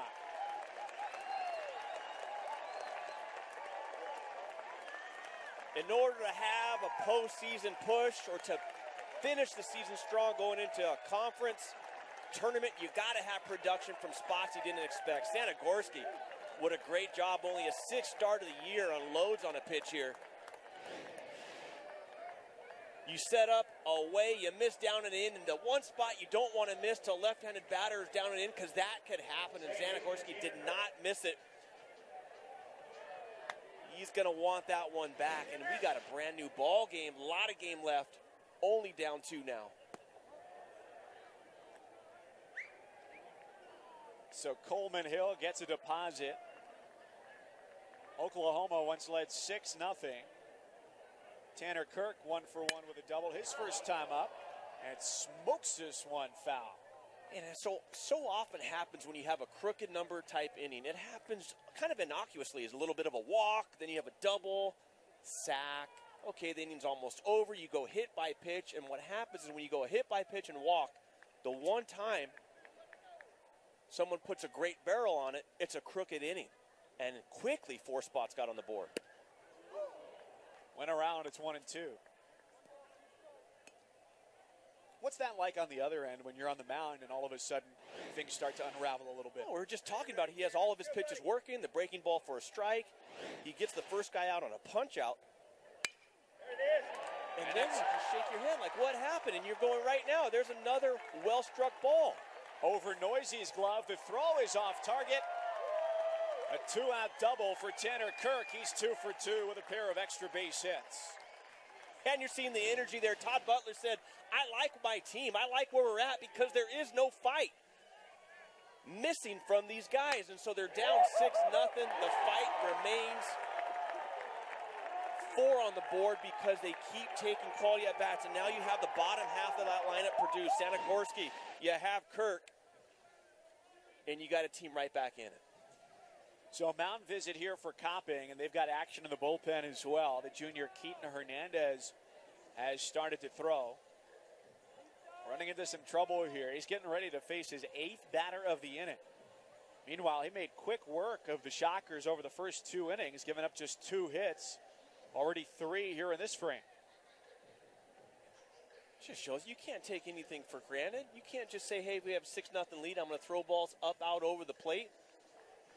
You have a, a strike out, out to lead off the inning, then a walk and a double. Runners on second and third. A sack. Now you're two outs. Big breath, execute a pitch. But what do you do? You hit a guy. You miss a pitch by a lot. Now you make a mistake to a couple of hot hitters now in Sanagorski and Kirk. And you blink and your outings completely change the complexion. Four runs across in the inning. Eaton, the number eight hitter, struck out last inning.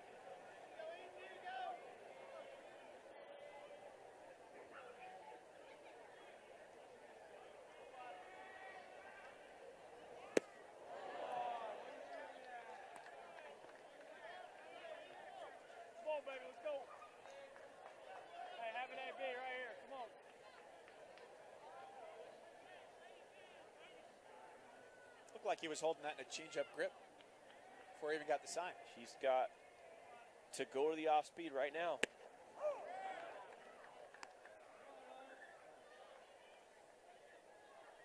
Such a great base running also by Tanner Kirk to even get the double because I was thinking single out the bat. He puts himself in a position for a C-night ground ball to score another run.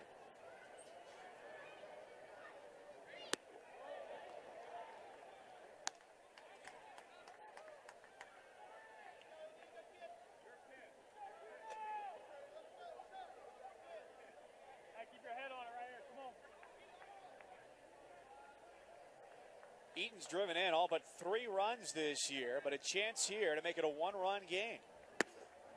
Fastball got him, and the inning is over. Biggest frame of the night for Wichita State. Eight came to the plate, four scored, and Taylor Sanagorski, just his sixth start of the year. There's a souvenir on Coleman Hill, a two run shot. We go to the fourth. Sooners by two.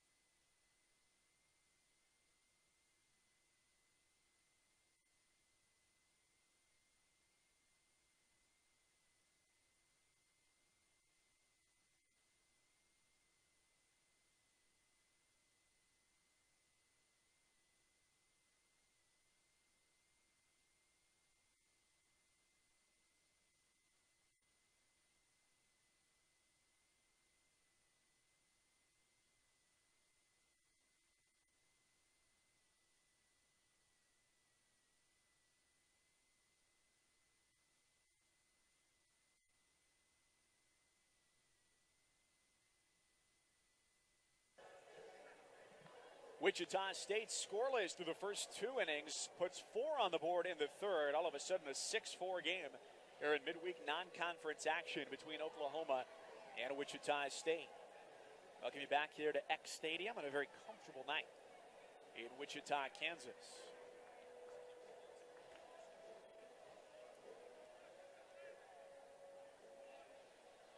Thing doesn't work.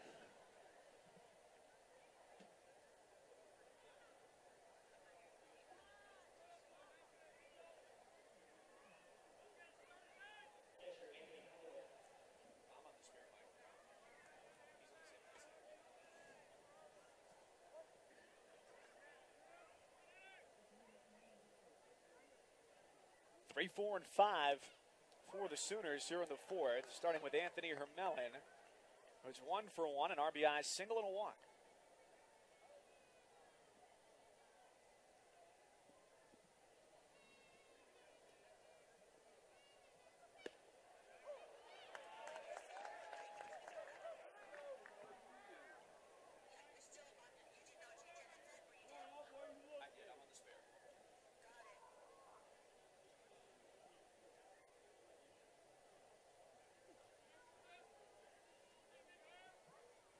Ashford's 0 2 upstairs. One ball, two strikes.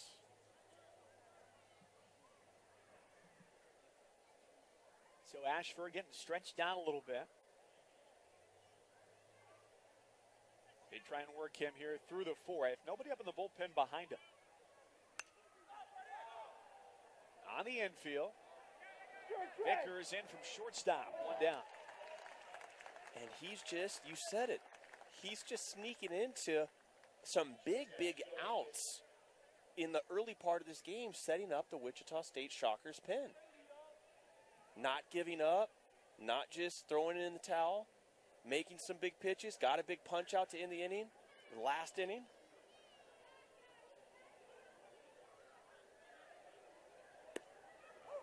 Right now, he's got two innings of work under his belt. Longest he's gone this year was back in the very beginning of the month against the Kansas Jayhawks. Went three innings and gave up three runs.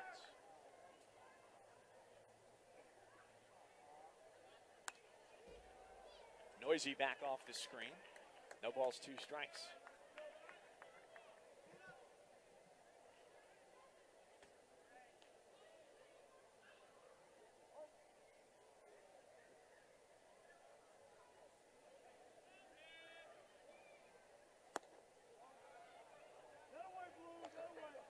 got that look of a good ball player, good compact swing. His average is at 300, but he, rumor is he's been hitting into a lot of hard outs, a lot of balls that would be a homer on any other day, but the wind's blowing in, and he's still having a great season. Off the end of the bat and foul again.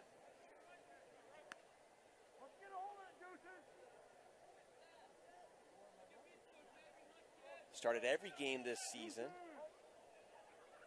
Almost 20 extra base hits, almost hitting 300, and still probably has his best yet to come. To the right side, sliding drive like bang bang play. It's out number two. Number four.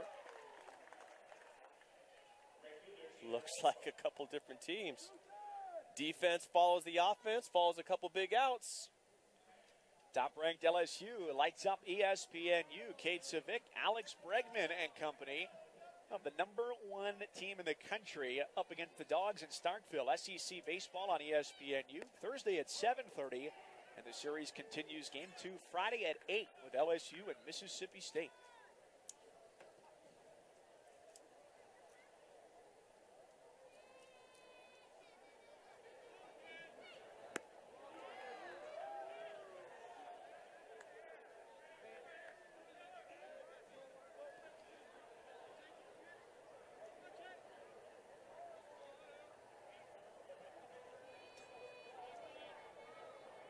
Allspaw, one ball, no strikes. Trying to get into the action. He's flied out twice.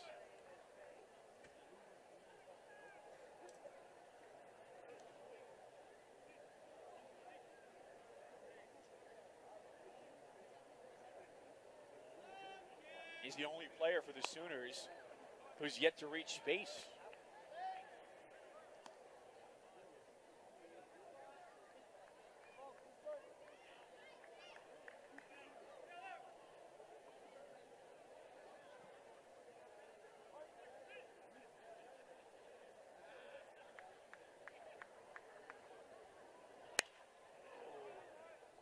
Just late, two and two.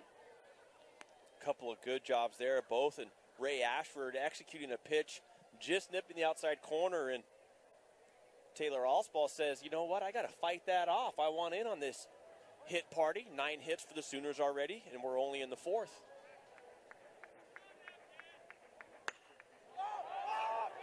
Playable in right for Hilliard, drifting toward the line. And we've got ourselves a one, two, three inning. First time that's happened tonight on either side. Three and a half in the books in Wichita. Oklahoma six, and the Shockers four.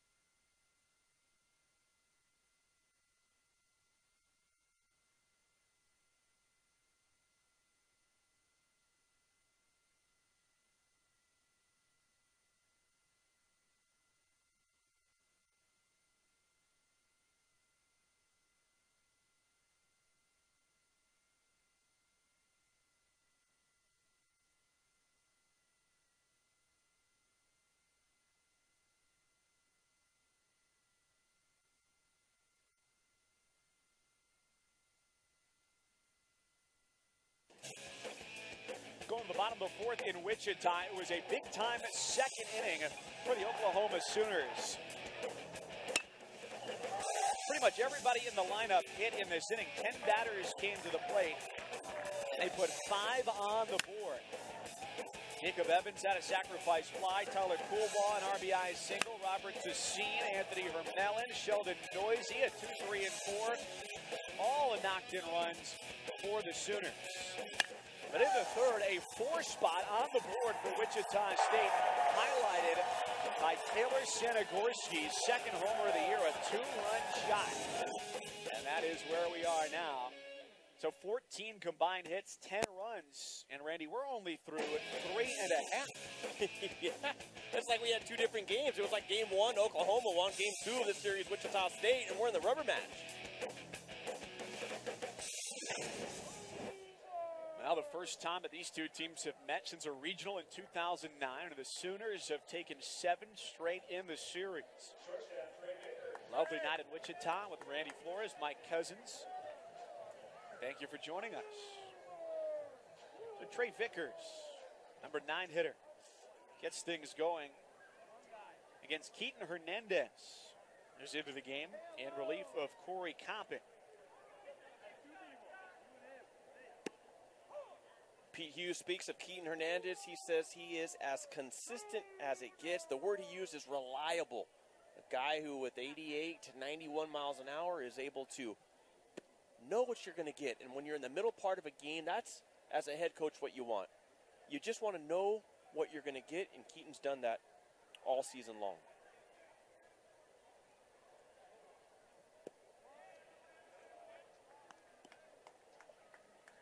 Down and away, one and two. Not a lot of strikeouts, but also not a lot of walks. And with that, you have consistency in the middle part of the game. Well, starting pitching, they've really been able to stretch things out this year for Oklahoma. And Pete Hughes says that's one of the biggest differences between last year when they were Mhm. 29 and 29 and this year where they come into play today already having matched their win total from last year at 29 and 18 just the success they've had in terms of pitching experience last year they returned one win from a starting pitcher Oh, you got a three pack in Tassine, Hansen, and Elliott, guys with about a two ERA combined in conference. It can change the dynamic of a season from one year to the next. That type of jumping performance. Vickers right back up the middle of a leadoff single. That's the first time tonight that Wichita State has gotten the leadoff man aboard.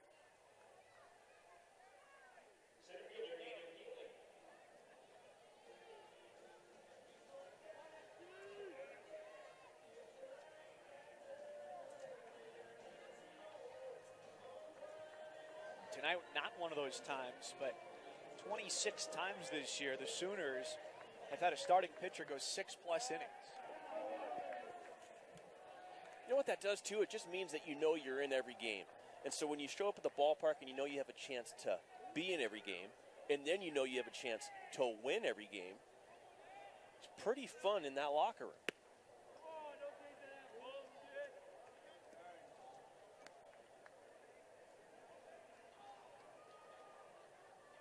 Top of the lineup, Keeley, 0 for 2, came in hitting 333.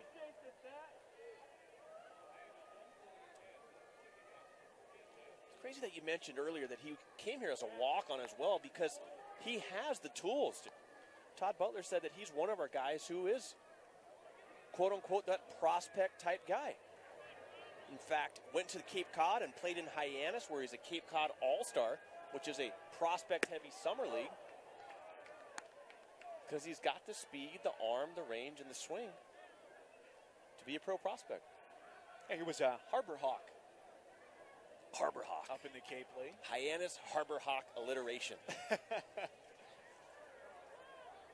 Nothing in two to Keeley, who grew up not far from here, Goddard, Kansas. Came to watch Shocker games as a kid.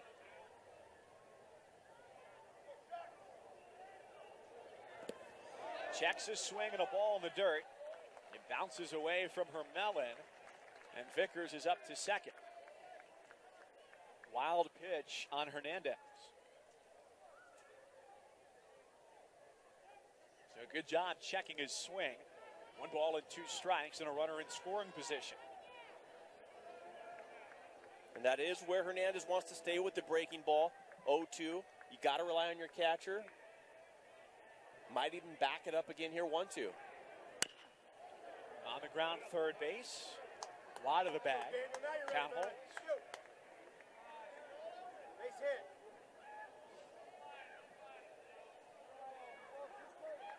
Keeley has swung the bat so well this year here at home. 333 for the year, but hitting 421 at Eck Stadium. That's another level.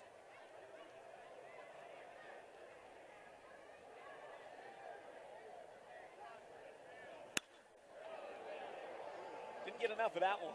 No, not enough of that one. But you go 421, you add to that, he has eight times he's been hit by a pitch on the season. That's pesky. That's a guy who's on base. That's a guy who wreaks havoc against a pitching staff when they want to pitch without traffic. That time, though, ball's not carrying to second base there, partner. Carried out to right field earlier for a home run for Sanagorski. The wind has died here in Kansas. Tinkham's 0 for 1 with a walk. Came in to score in that four run third for Wichita State. Came in from Oxnard Community College in California. Team high eight homers, and they've all come in the last 16 games.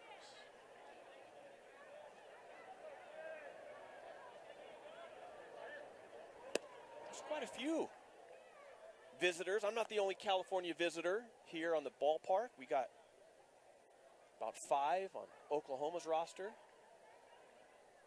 A Handful here for Wichita State.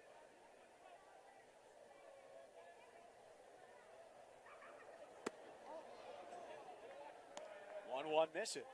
I even actually took a recruiting trip to Oklahoma University. I told you a few years ago, back when you would actually take recruiting trips. The recruiting landscape has changed some. Just a few years ago, yeah. Huh? You're taking those players are taking those visits now. Much, much earlier, unofficial visits they're called now. Why has that changed so much? Well, you know what? They're now being recruited, A, and committing, B, before they hit high school in some places. At least in California now, there's literally people who have yet to play a high school game who are committed to college programs. And so now, when you take the NC2A rules are you can take your recruiting visits your senior year. Well, where, why would you take a recruiting visit your senior year if you're already committed to a school? So a lot of players are now no longer taking those official visits, but instead come in an unofficial capacity. That seems like it would cheat the player a little bit. It's their choice, Right. but you're not getting to see the full offering of the school, right? Well, and then it, the, the, the flip side argument to that is, well, you let a guy who's in the ninth or tenth grade decide what school he wants to go to, and you have a mutual commitment. It allows all pressure to be off, and now the kid can just have fun being a high school ball player.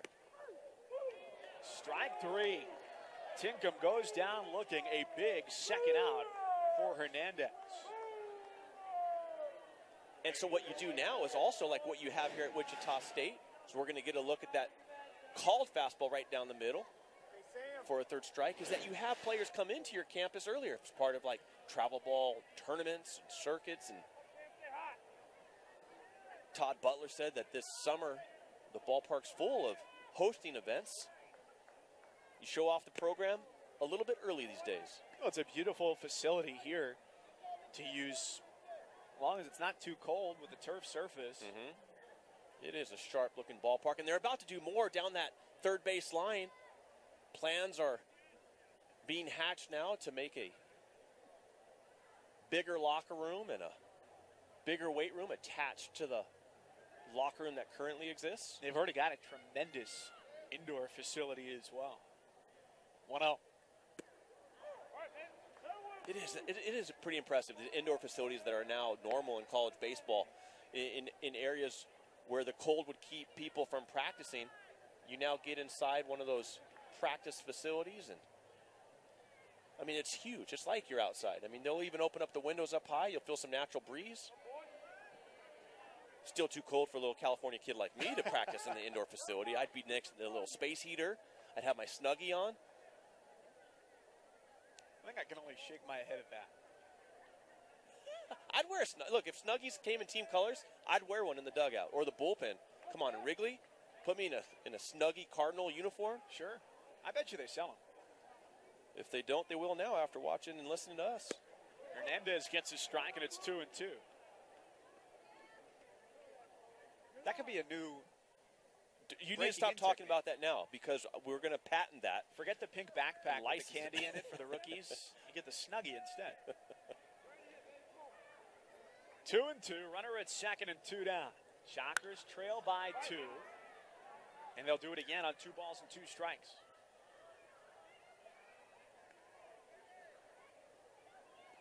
You ever get to wear the backpack?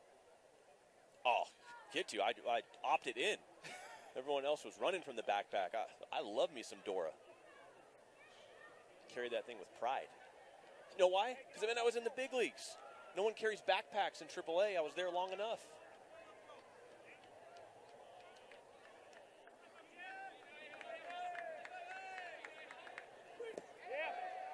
Three balls and two strikes. Plus, partner, do you know what they fill that, that little backpack with? The lunch pail with? I'm going to go with gum. Yes. Every snack you'd ever want in the entire world is attached to you. And that's supposed to be a bad thing? I was watching the Royals game last night. Terry Francona managing on the other side. He's got his own bucket. It says Tito on it in the dugout. All the snacks he wants. Now that's a big league move. it is. Oh, I'd love to see the fines if he ever caught someone with their hand in, in the Tito jar. Welcome to Kangaroo Court. What a battle here between Hilliard and Hernandez. Hilliard has yet to be retired in the ball game. Two for two with a pair of doubles. Hilliard here, he's already taken a couple balls down the first baseline, looking to do it again, but little too much, and that's going to smart. It's funny because you'll see hitters get hit by a pitch up in the shoulder and the neck, right? It dings off their helmet, and they make it look like it doesn't hurt. But you foul a ball off your leg bone, your ankle bone, your shin bone. That does not feel good, and that's when you'll see them need a breather.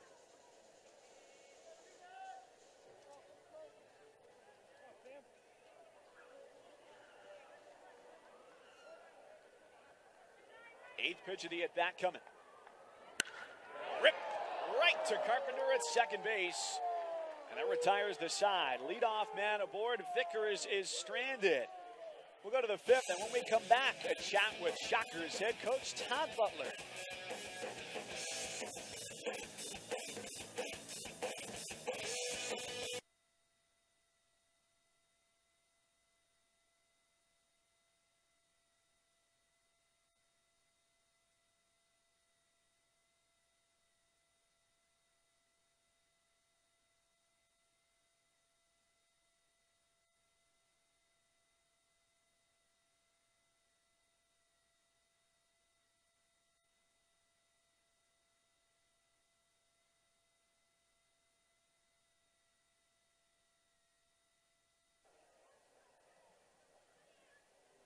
On to the fifth we go here at Wichita State. A 6 4 lead for Oklahoma. 15 combined hits in this one. And Todd Butler, the head coach of the Shockers, now giving us some of his time. Thank you very much, coach, for joining us down in the dugout. So you're down early in this one. You make the comeback. How do you feel right now as we go to the fifth? Well, I like playing good teams, and the Sooners, you know, they put five in, in one inning. I think they had five hits in a row, and we answer back. You know, it's six to nothing, and we put some good at bats together and, and score four big home run by Sanagorski, and and we're competing, and that's all you can ask. And uh, we need to hold them, you know, on the pitching side and try to do some more offensively. Well, one of the things that you had talked about that you loved about this team is is their fight. They compete, and that's exactly what we're seeing unfold before us tonight. We're fighting. We're fighting for till the end, and I- I'm proud of our guys. We need to continue to fight, and uh, a lot of games left, and then we host the conference tournament here in Wichita. So looking forward to that, trying to keep these guys going. So Tyler Jones, your starter, an inning and a third. Ray Ashford comes in. He gives you some quality work. What did you like from him? He, he's one of the best competitors on our team. You know, he doesn't throw 90 miles an hour, but he competes every time he, we give him the ball. All right, well, coach, thank you very much for joining us. All right, guys, thank you. Thank you.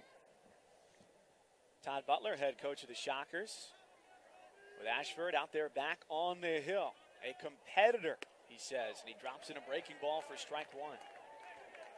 It's crazy to see his enthusiasm. When I talk with him today, you think about losing your one and two early in the season, the injuries he's faced, even random things. Their third baseman, Chase Raiders, had an ear infection, struggled with balls that were hit up in the air. Shortstop Trey Vickers, the talented freshman, still has a, a back brace on, is still playing with a stress fracture healing up in his back. And he says, I like our team. I like where we're headed. I like where we're headed. next week. I like where we're headed the next hour, and I certainly like where this program's headed in the years to come. They had a highly ranked recruiting class coming in, two by Collegiate Baseball and the 20s by Baseball America. They got a lot of young, talented freshmen committed for next year.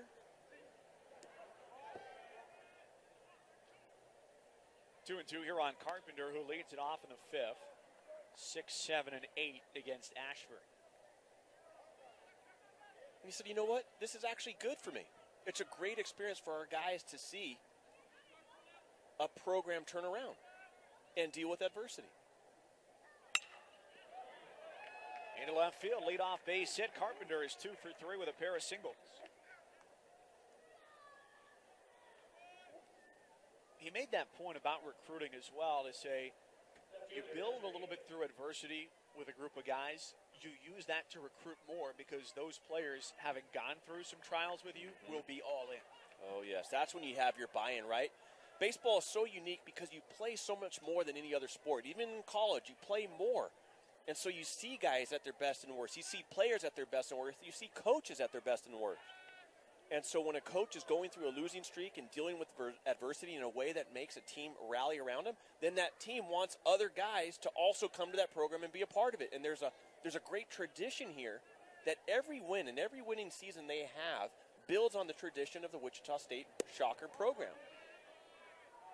And so instead of being down, that look, we're having a, our record's not where we want it to be.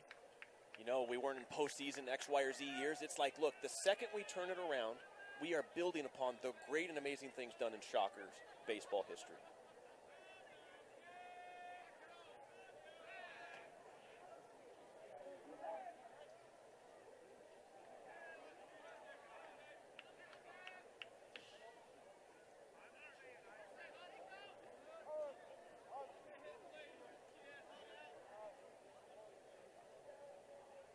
Joe Brown called time.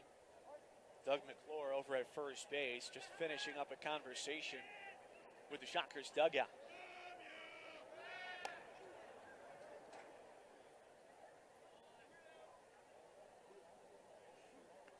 Close eye on Carpenter, who's stolen four bags.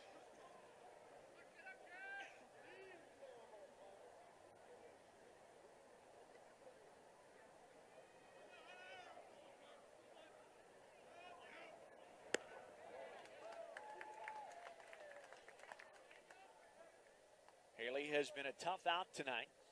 Pair of doubles and has scored both times he's come up.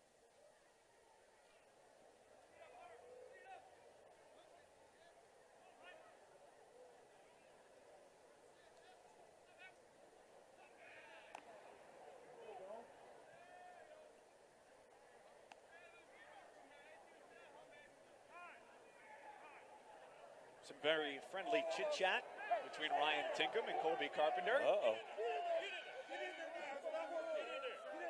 And the umpires are quick to shut things down as players trickled out of the Wichita State dugout. Now Todd Butler is going to be out there to try and clean that up. Look, that might quiet down now, but there's no way that that's going away. When you have a couple of guys jawing at each other, you rarely see that anywhere outside of the catcher batter interaction. Sometimes pitcher batter, but here at first base, I got a feeling we might see a little bit more feistiness because there's a lot of game left.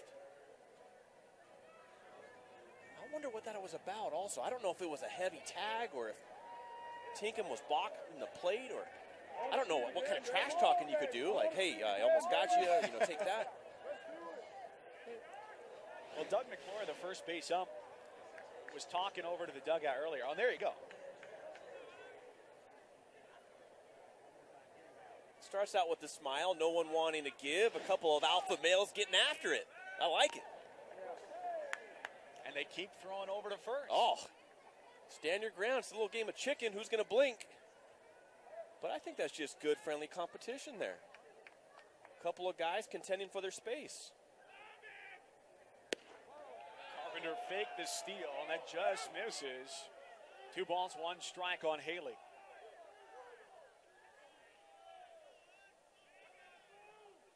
Sooners with a 6 4 lead. They put five on the board in the second, one more in the top of the third. The Shockers with a four run bottom of the third. Two and two. Good pitch there. That's a, a big breaking ball and a fastball count. You go backdoor breaking ball and get the strike. Give yourself a chance for a ground ball to get a big two outs.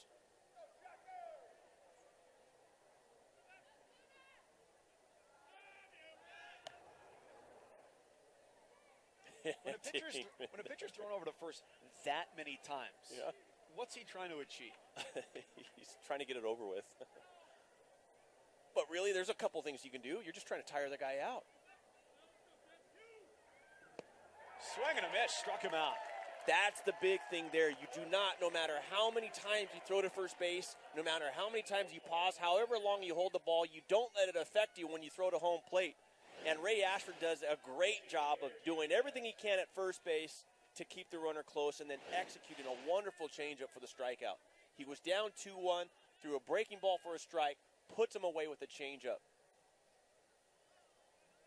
The senior out of Texas has played a big part tonight for Wichita State. Got rid of Haley, who was two for two.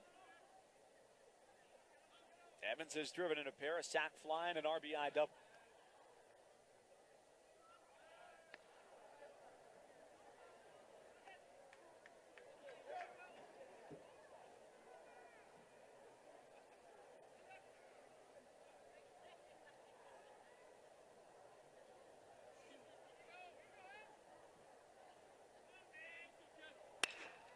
Chance for two, but it's under the glove of Vickers into center field. Single back through the middle for Evans. Just hit a little bit too hard, and the ball does move pretty quickly on this turf.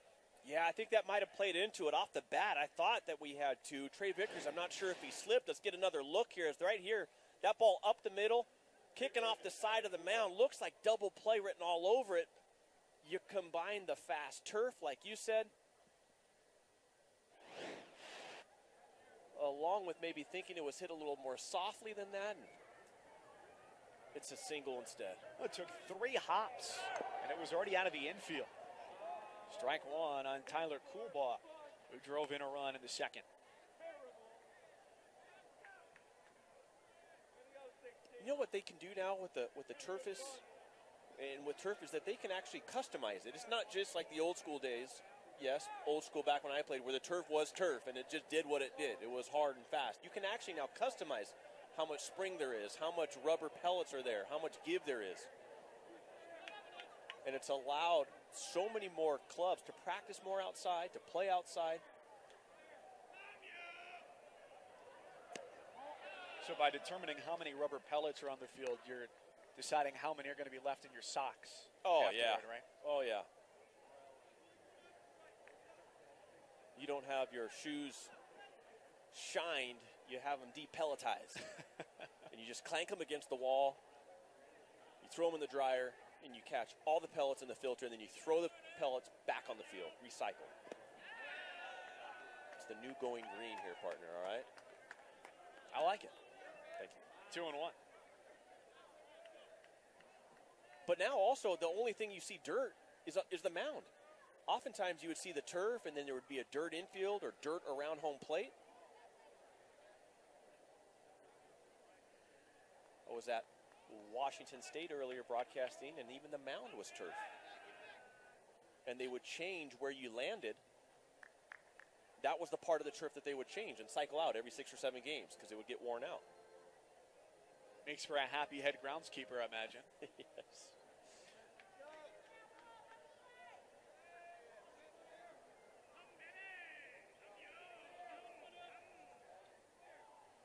Two and one. Well, with the groundskeeping now on a full turf deal, they just don't have groundskeepers. They, you know, outsource the Holiday Inn Express cleaning crew. Come with a vacuum, thing of Windex. You clean home plate. You get the cinnamon rolls too. Yes. That's the big pull.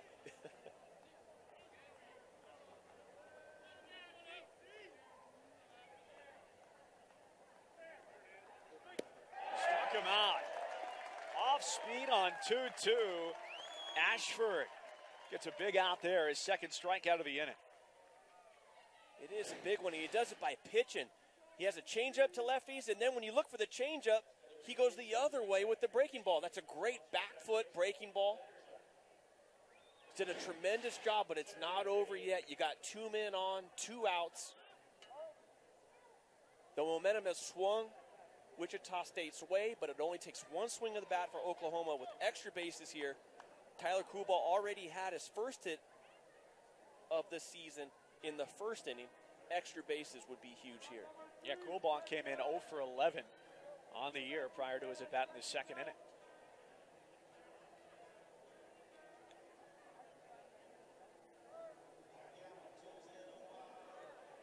Carpenter led things off with a single. He moved up on the one out single by Evans. Both outs in the inning have been strikeouts for Ashford, and at this point, he came in with one out in the second. This will probably be his last inning. It looks like they actually might even make the change here. And they will. A well deserved round of applause for the senior Ray Ashford.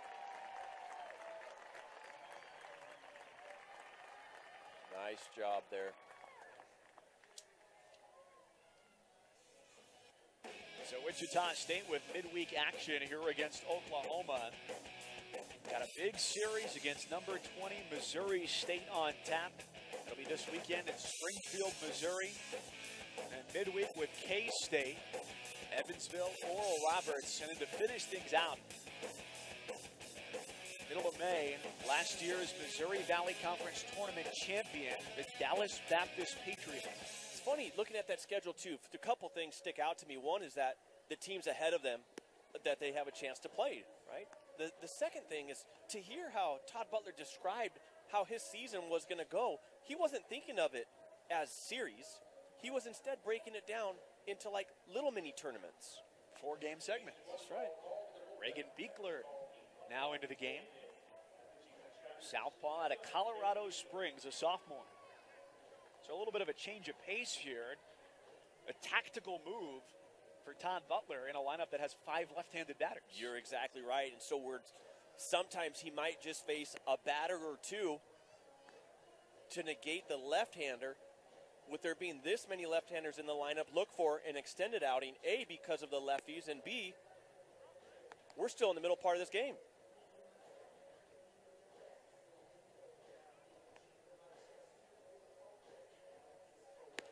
So a very nice outing for Ray Ashford. Did give up a couple of inherited runners. Only two runs charged to him. Still a 6 4 game. It's a big spot here. You got back to back left handed batters coming up. Top of the order now with Aiken and then Tosin on deck. And between the two of them tonight, they've knocked in a run, scored a pair, a couple of base hits.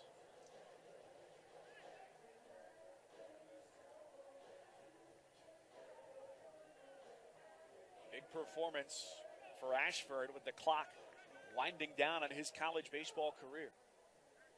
Got to be proud of what he did here on a big stage in a big game against a acclaimed program. And now looking for his bullpen mate to pick him up and strand those inherited runners.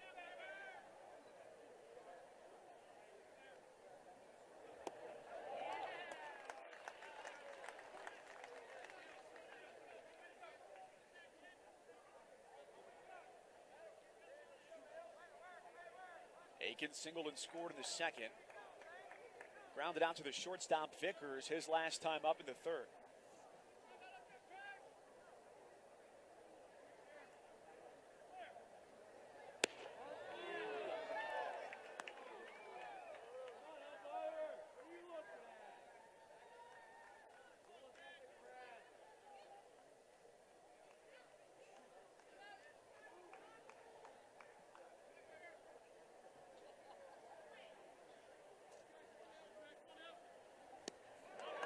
Two and two. That's a good pitch there. I don't know if that was a breaking ball, but to go, it almost was like a changeup. Watch where this pitch does. It's not the big sweeping. In fact, it moves like a screwball or changeup could be really effective left on left because not many left-handed hitters expect that type of pitch from a lefty. Into right field, a base hit. Hilliard comes up with it. The turn at third for Carpenter. The tag. Safe.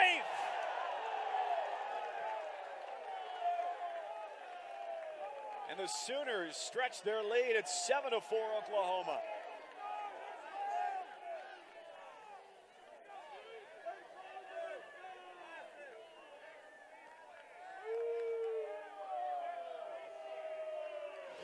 Aiken drives in his 27th run of the year. Hilliard does a great job coming up firing, throws a strike, but right here, look how far up the line, Troutwine is. I think if he had hung back a little bit, he's going to get Carpenter because Carpenter's slide is around. You see the tag go to the helmet. And the reaction from Wichita State can't really believe it because the ball looked to beat Carpenter to the bag, but the slide along with the up high position and catch of Troutwine up in front of home plate allows that run to sneak across. It was the perfect setup on the throw from Hilliard. And that run is charged to Ashford. He's still responsible for Evans at second base. As Tassine steps in.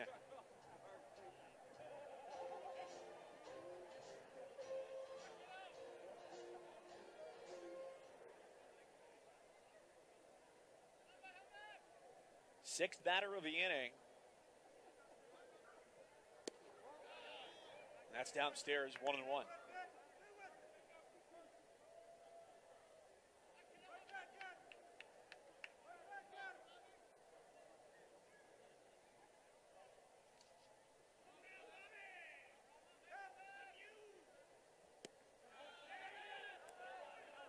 No advance. Trout line all over it.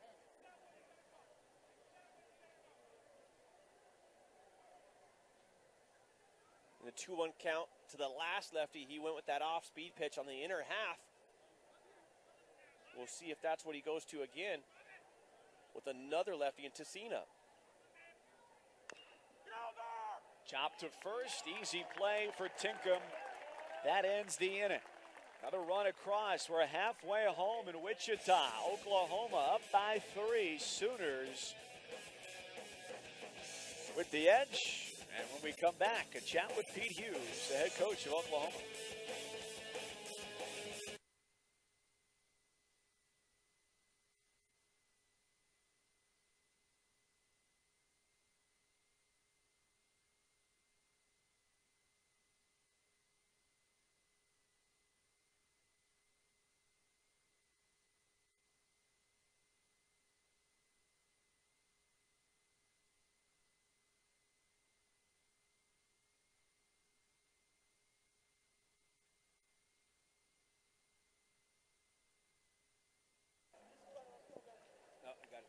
7 to 4 Oklahoma as we go to the bottom of the fifth here at Eck Stadium in Wichita. It's now our pleasure to be joined by Pete Hughes, the second year head coach of the Sooners.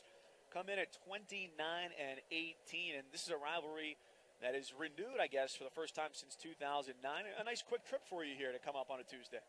Yeah, glad to be a part of it. You know, it's uh, two two great traditional teams in college baseball. One of the one of the top venues in college baseball, so it's fun for our guys. Coach, it is fun for us to see you here. Uh, Good thoughts and prayers your way. I know you had a little bit of a scare a couple of days ago, and how are you feeling today? I feel good. I'm back in the uniform, back on the baseball field, and um, these kids keep me young. And you know, I, I missed the competition for a game and a half, and you know, I definitely never take it for granted that I get to put a uniform on and call it work every day. Dropped two out of three this past weekend to Sam Houston State. What was the message after that Sunday game to your team? You know, I, I wasn't there. You know, so maybe that maybe that's why they lost. You know, no, our guys are pretty resilient. They get beat, we move on to the next game, and that's what you got to do with this. You play too many games in such a short span.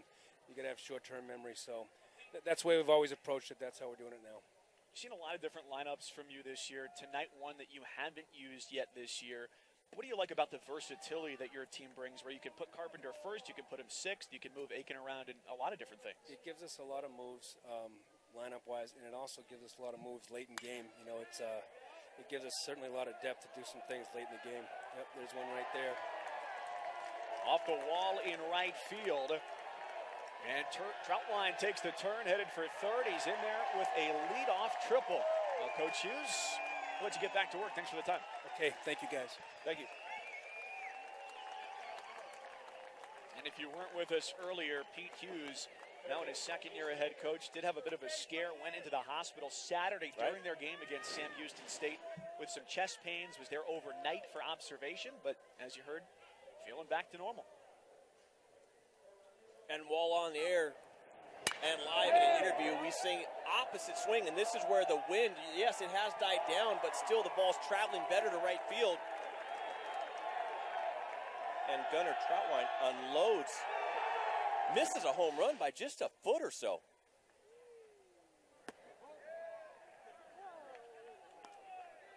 For Troutwine, the freshman catcher, his first triple of the year.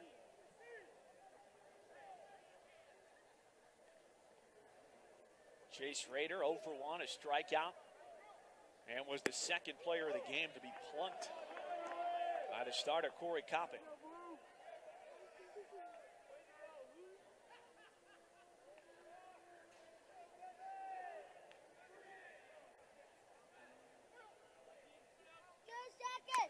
He had mentioned about just the resiliency of Wichita State and the injury bug that they had, and Chase Rader kept on playing with a with an inner ear infection. Can you imagine being on the field and you're trying to hit a moving little white ball and ball goes up in the sky and you're trying to catch a fly ball and you're losing your balance out there?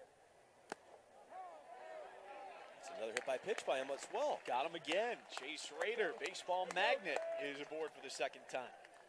Bring him in here, guys. Bring him Well, it's not his first time being hit. It's actually his 13th time. He had 11 going into today because, look, there's no give.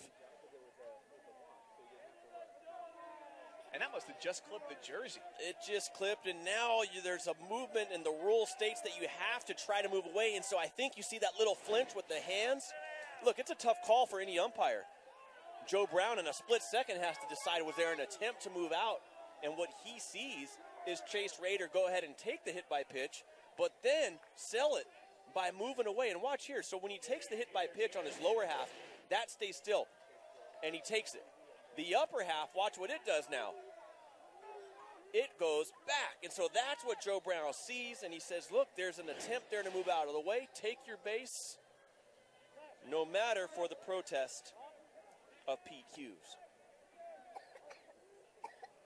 And it sets up a big spot for Taylor Sanagorski.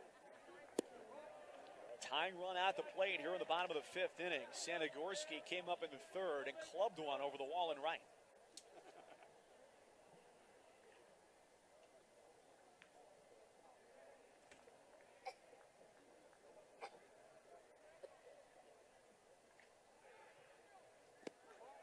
All right on Club One. I, I, I love that the home run's back in college baseball, partner. I love it.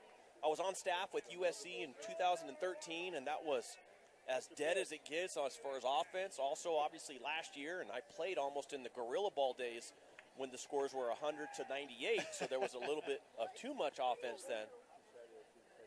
But you got to love that here. One swing of the bat, a mistake, a well hit ball has a chance of putting three runs on the board with the adjustments made to the ball. Two all. He got underneath it. Carpenter a little bit further back on the carpet for the first out. Guys are running. Why is that guy not New baseball this year, lower Yep. seams, home runs up, strikeouts up as well. Is that surprising that with the lower seams more reminiscent of a professional baseball that the college game has seen more strikeouts? Yeah, you wonder because you would think that the, the ball players would be used to certain seams and they don't like the feeling of the small seams, but if that ball's smaller in their hand and you have a smaller hand, it allows you to put a little bit more torque on the ball. Here are doubles for Kirk. First and third and one down. What gets talked about the most is the numbers change.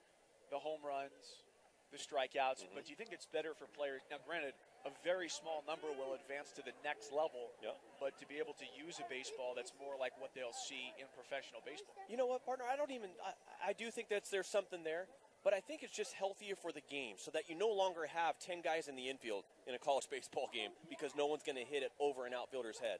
And I think it helps a high school ball player who now wants to play college ball and wants to play baseball because the ball goes somewhere when you hit it. And so I want that adjustment to also get down to the high school level.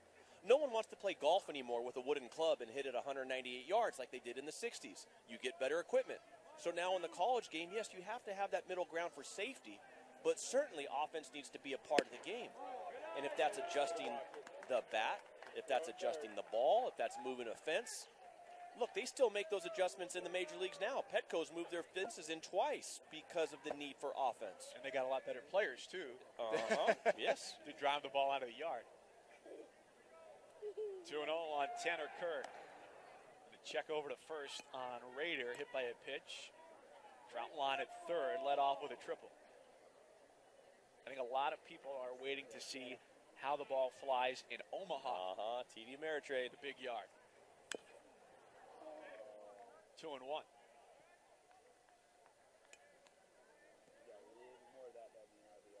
I think anything will be better than how it had been going. So it's kind of like, you know, the very first home run can go out, and it might be the only home run, but they're like, well, it's already, it's already a marked improvement.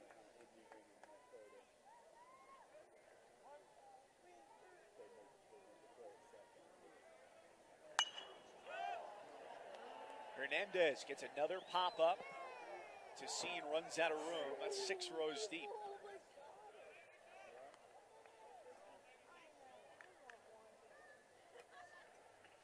And, and so, look where you look where you see Craig Aiken here playing in versus left and right field, playing a little bit more normal. But that used to kind of be where everyone played. Was that almost a rover position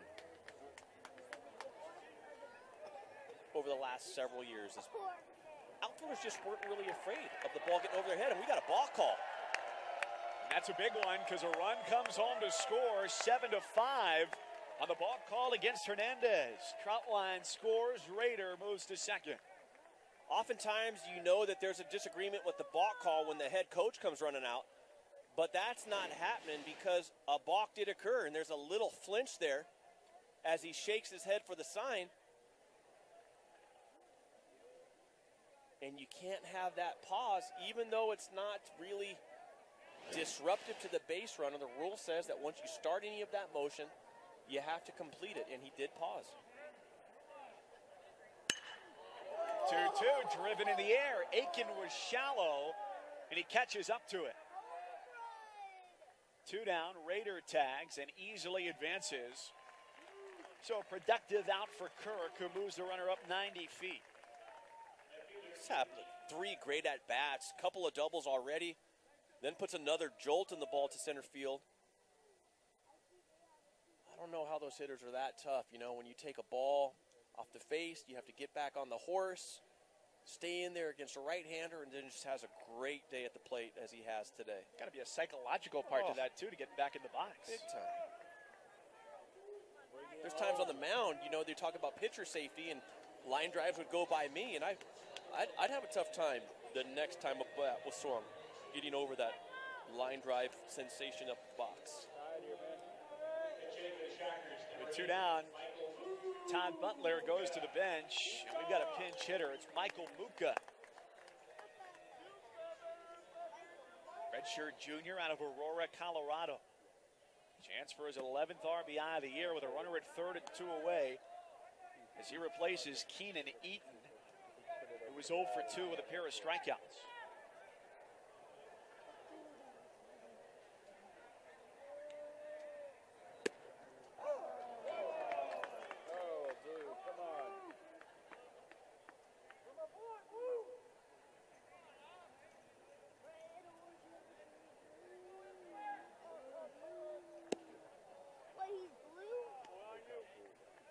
Got to be careful here. Time was called, but he also is working really quick and not pausing. And although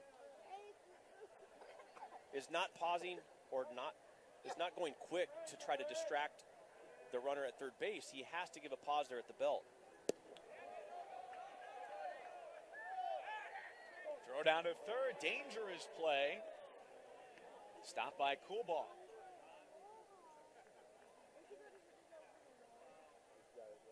Margin for error on a throw like that is very slim. Can you imagine you'd have had two runs scored, one on a balk and the next on a attempted pick to third base? Make it. Two on Amuka.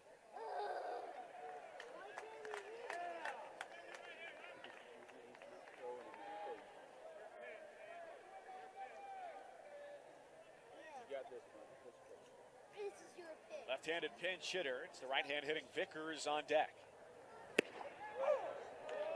Full count. Three one count, you're looking one pitch, one zone, and that is dotted down and away. Don't think it was far enough off to think it was a ball.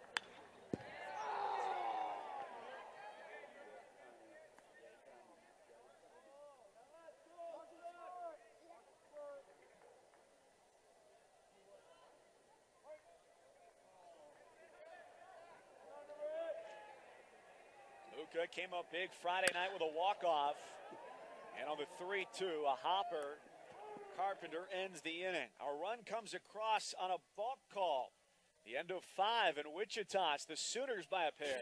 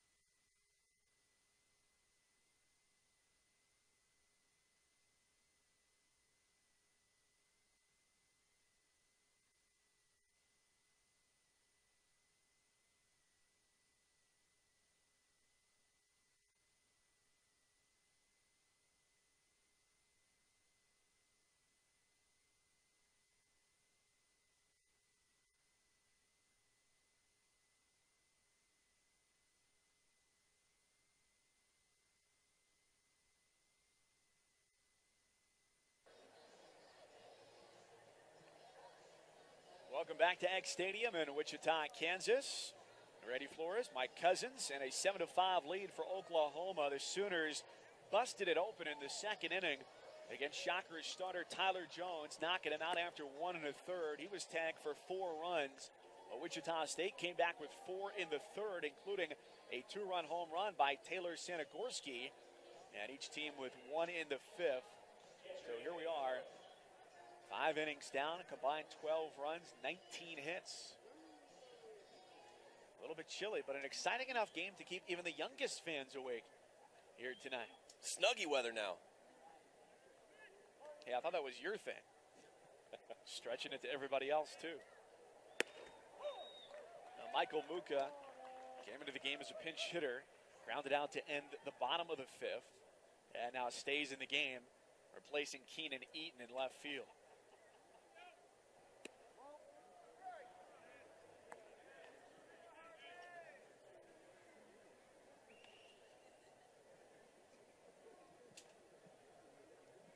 Muka. This one driven way out toward left field, and Muka didn't have to do much work with it. It's out of here. Hermelin with his second homer of the year, and it's 8 5 Sooners.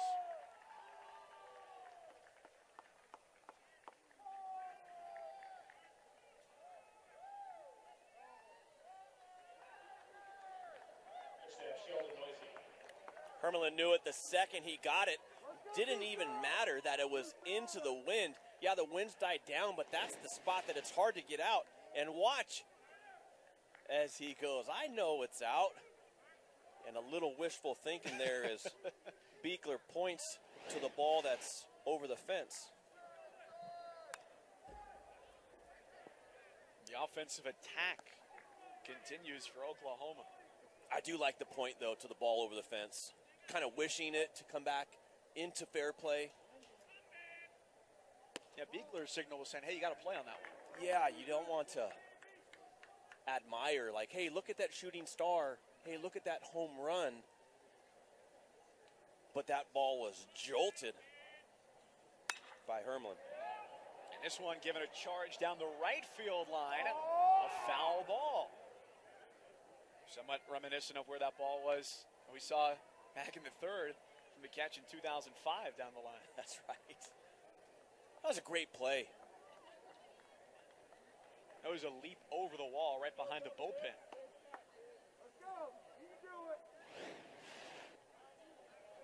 Oh, look at it. Go down memory lane, no fear. Oh. That's a great grab.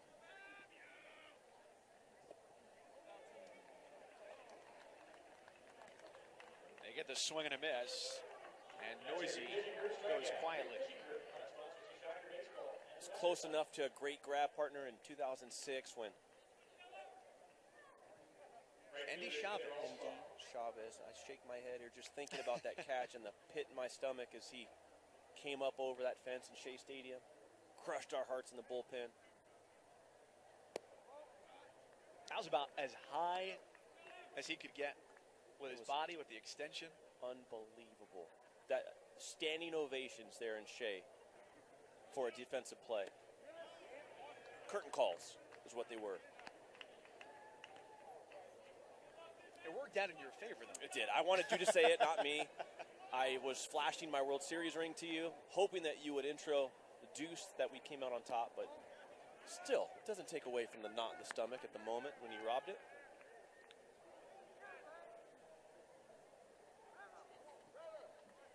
Two-one count on all Allspaw. Still looking to get on base for the first time. He's got it in the air. All three trips to the plate. Blown out to right twice and once to left.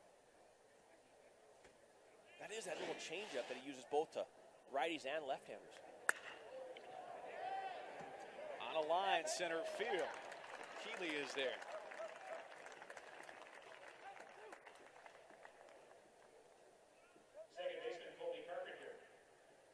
See if this little bad blood continues now with Kolbey Carpenter at the plate. Earlier today, one of about 30 pickoff attempts to first base.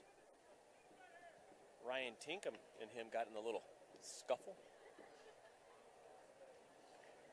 What precipitated that was a shoulder nudge. Yes. Tinkham at first. Yeah. But what you know what we always kind of miss and the officials miss? They never see the first guy. Yep. It's always the second guy that gets in trouble.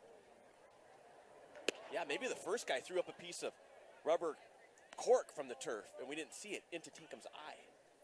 The- sleight of hand we missed. Who was it on the major league level earlier this year? Somebody threw a piece of gum and it got an altercation going at home plate. Did it? There was a piece of gum in the batter's box and the batter threw it toward the catcher. Yeah. Presumably oh. to get it out of the way.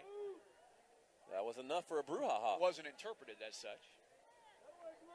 It's kind of like when Brandon Phillips tapped Yadier Molina's shin guards to start off a game. Kind of like the whole, hey, catcher, how you doing? He tapped it with the bat. Very customary. Customary, except that Molina took exception to it. One and two. He went around. Inning over. Another run for the Sooners put on the board. Hermelin goes deep to left field. As we go bottom six at Eck Stadium. Oklahoma eight and Wichita State five. Second long ball of the year. Shockers have uh, nine, one, and two coming up.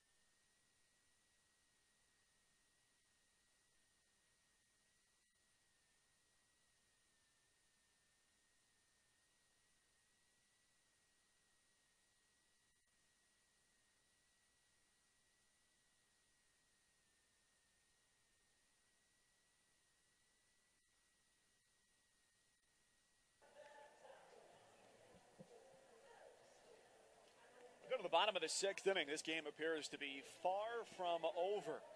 8 5, Oklahoma out in front the midweek matchup. These two teams meeting for the first time since 2009. And after a couple of innings from Keaton Hernandez, the new pitcher into the game for the Sooners, Ralph Garza Jr., the junior from Texas.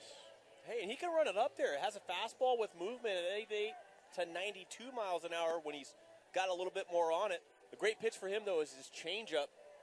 Really can be a put away pitch, evidenced by those 30 strikeouts in 31 and two thirds innings. Pete Hughes is high on him, one of the guys he goes to with the lead. And although it's still the middle part of the game, the lead is had by Oklahoma, and Garza's on the mound.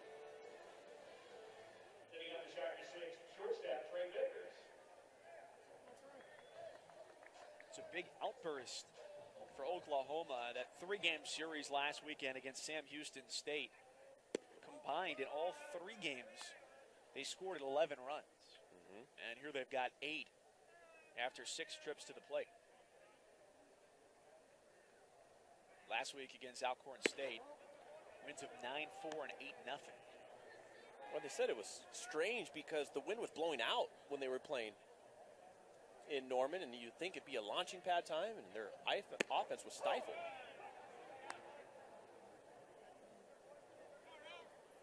Two and one on Vickers, who singled last time up in the fourth.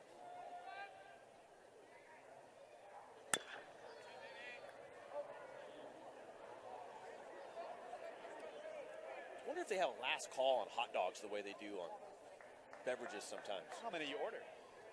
You know, because you figure right now the limit's 10. We talked about it's 50 cent hot dog night here. It's a great ballpark, beautiful night for baseball. Yeah, and how many did you get? Hey, I don't want to say. Someone might be DVRing this. Hold it against me. Nice pick by Neuse.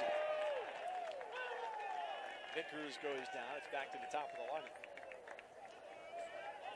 But I'm thinking the that- cutoff is around the seventh inning, right? Yes. Get a good look here. This is what you do as a shortstop on a high ball. You don't wait. You don't wait for the good hop. You got to be aggressive because there's the fast base runner in Vickers. So Neuse does a great job making a hard play seem pretty easy. Yeah, I'm thinking the cutoff's the seventh inning.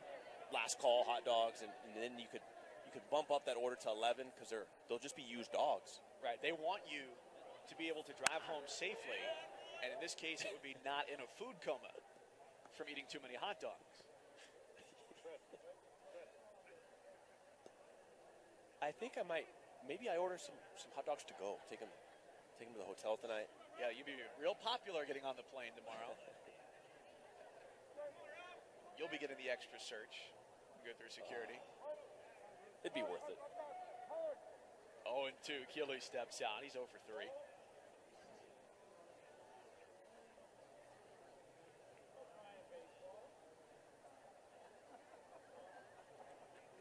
Surprised that doesn't happen more to pitchers, right? You see a hitter, oftentimes, everyone stop. I got a, I got a bug in my eye. I don't really ever see pitchers have that happen. I wonder if there's just bugs in the batter's box.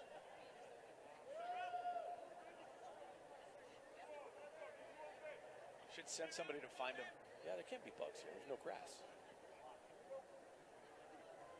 You find the bugs in the batter's box and the keys to the batter's box. All the good pranks. Got him looking. Seventh strikeout for Sooner pitching. Look, he's wiping his eyes because he can't get that bug out and you can't pull the trigger on the fastball there. What happens? You look for a breaking ball, you get the fastball. Next thing you know, you're blinking, you're in the dugout. Great pitch there by Garza. Does that bother you though? If you're into your windup and all of a sudden time is called as you're about to let go? Yes, 100%. And more for injury's sake. So the later it is, the injury. And second, two things I'm at. Now he knows what pitch I'm throwing.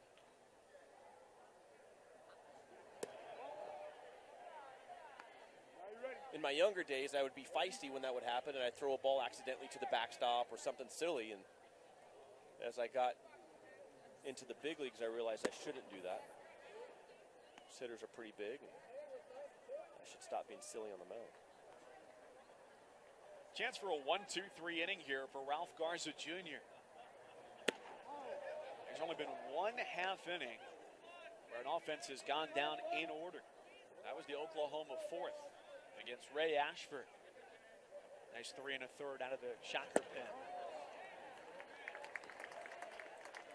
And a two out base runner, Tinkham to first.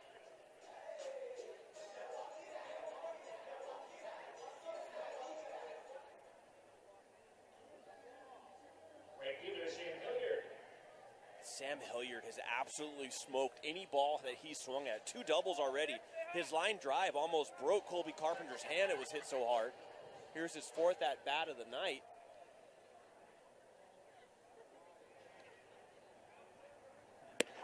He came up in a big spot in that fourth inning.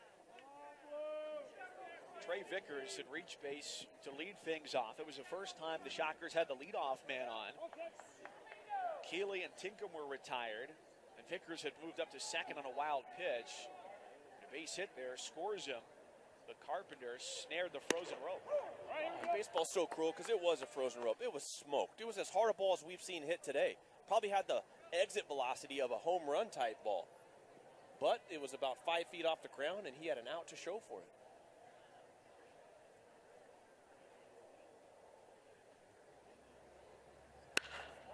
He hits this one high in the field. Aiken is on the move at the track, at the wall. He leaps and can't make the catch. Ball hits the turf. Tinkham is in to score. Hilliard standing at third, and now he's coming home. Coolbaugh gets it. He's in to score. Two more for the Shockers. They're right back in it in the sixth.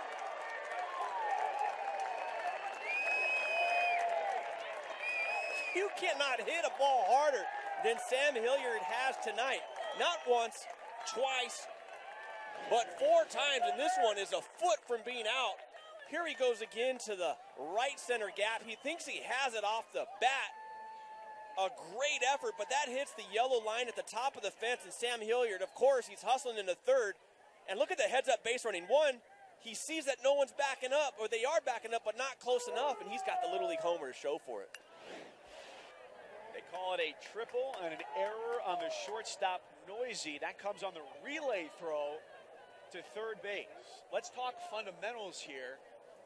Garza, where should he be backing that up? And he was. He was in a great spot. I saw him move towards the line as he's backing up deep because you anticipate a throw kicking off far from a third baseman, and that's why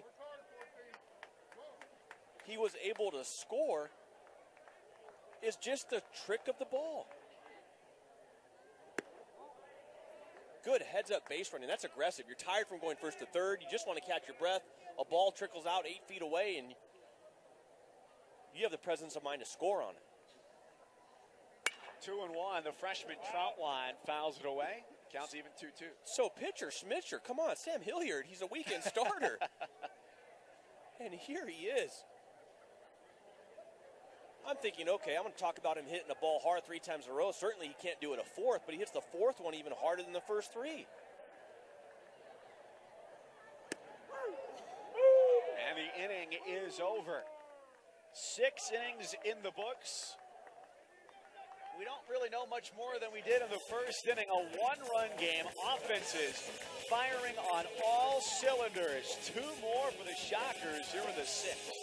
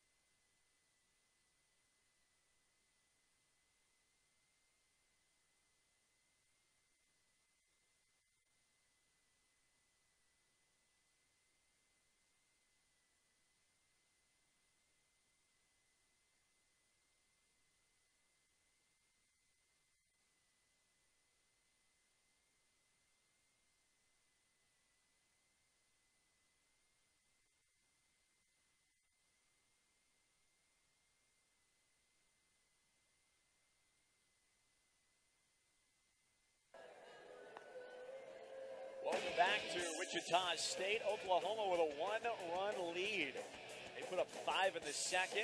Wichita State has been climbing back ever since. Coming up Saturday, the number eight Florida Gators head to Athens, take the field against the Georgia Bulldogs at noon on ESPNU and watch ESPN. No midweek action for the Gators.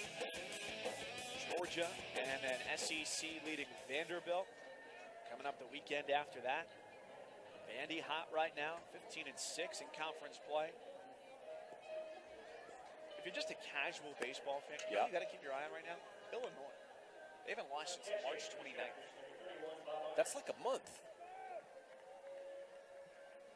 You thought I didn't know my calendars and partners.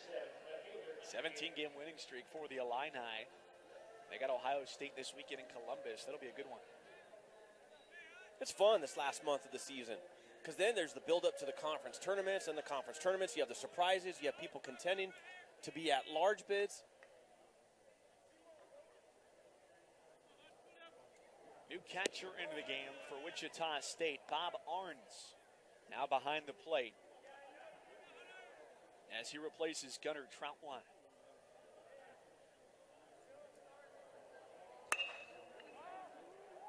This one tailing toward left center. Down. Now we're in that last part of the game, and so it's been a slugfest, eight to seven seesaw. Oklahoma gets up six runs. Wichita State comes back, but now you start getting to the back end of the pin, is what I'm getting to. And so now the game's going to take a little bit more normal type pace as those arms that pitch in close games are now in a very close game here in Wichita.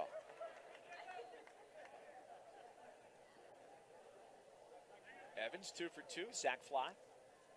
Who does that favor as we go down the stretch here in a close game?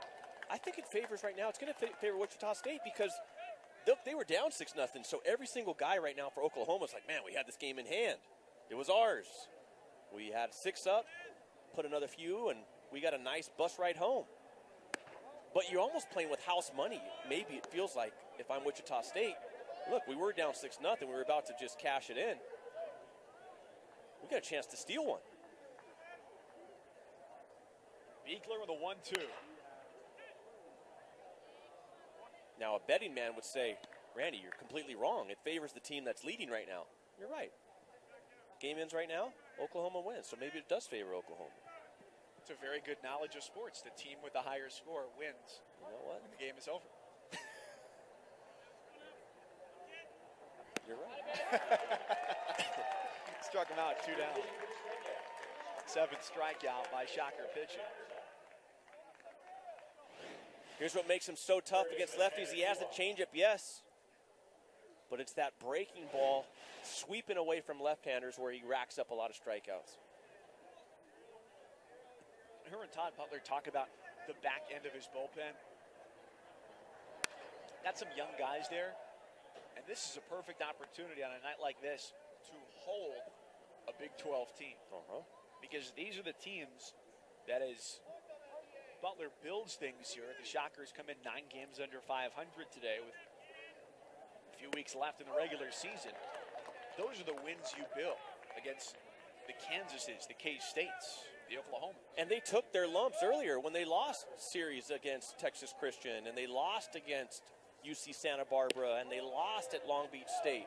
Really took their lumps with this same group, but it the group now is kind of battle hardened.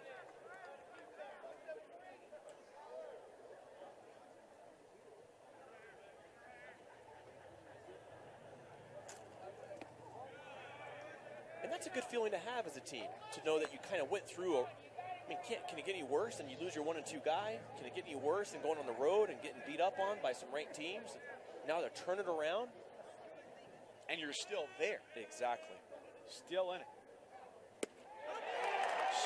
Three. It's a one, two, three frame for Beekler. Time to stretch at Eck Stadium.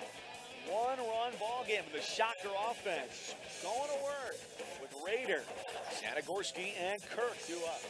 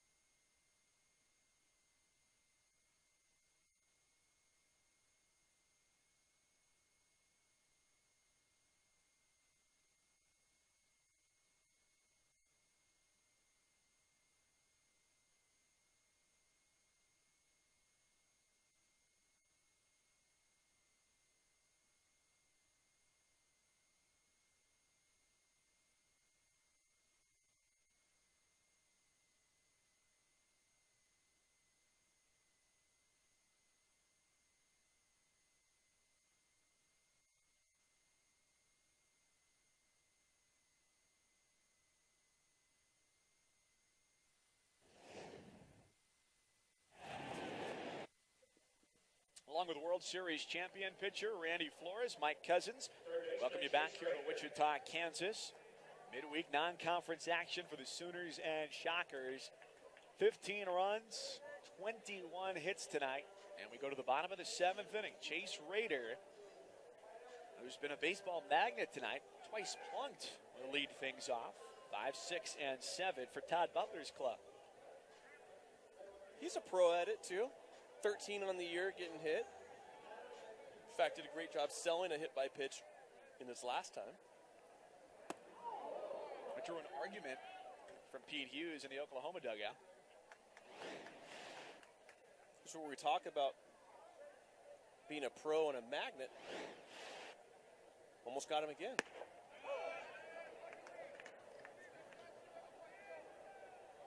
Let's go, Chase. Start it up.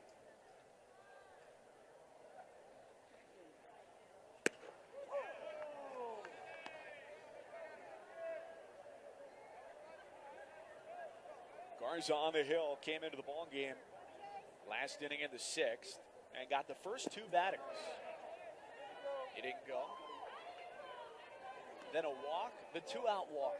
Mm-hmm. Opened the door for a triple for Sam Hilliard.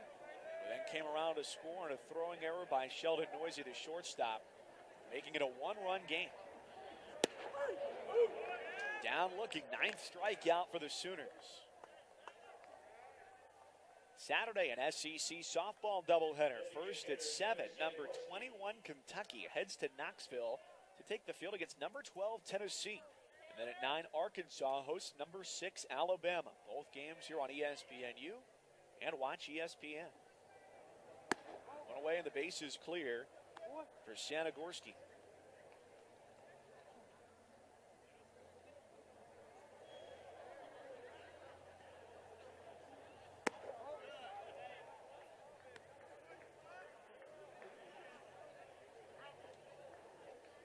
We talked about where Wichita State is in the thick of things, conference wise. Dallas Baptist won the conference tournament last year at 13 and 5. Missouri State 9 and 3. Bradley 7 and 5 in third place. And then the Shockers at 6 and 6. Four games back. So they got a big series coming up this weekend. They will go to Springfield, Missouri. Three games against Missouri State and a chance to make up some ground in the standing. Full count here on Sanagorski. Back in the third, part of a four-run inning. This one out onto Coleman Hill. Second homer of the year.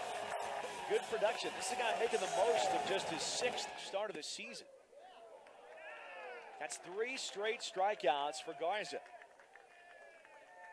And outnumbered two in the last of the seventh. To that back end of those bullpens, and Ralph Garza Jr. someone who Pete Hughes is just high on. We're getting a good look at why. Because the Shocker offense has put up the last seven runs out of nine, only two for the Sooners, and he's mowing through them now.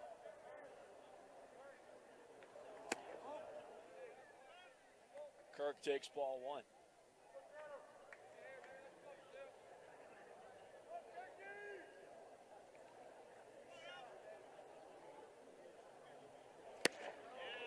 Teams look forward to postseason play, Big 12 tournament and the Missouri Valley Conference, both very similar 18 tournaments, two pods of four.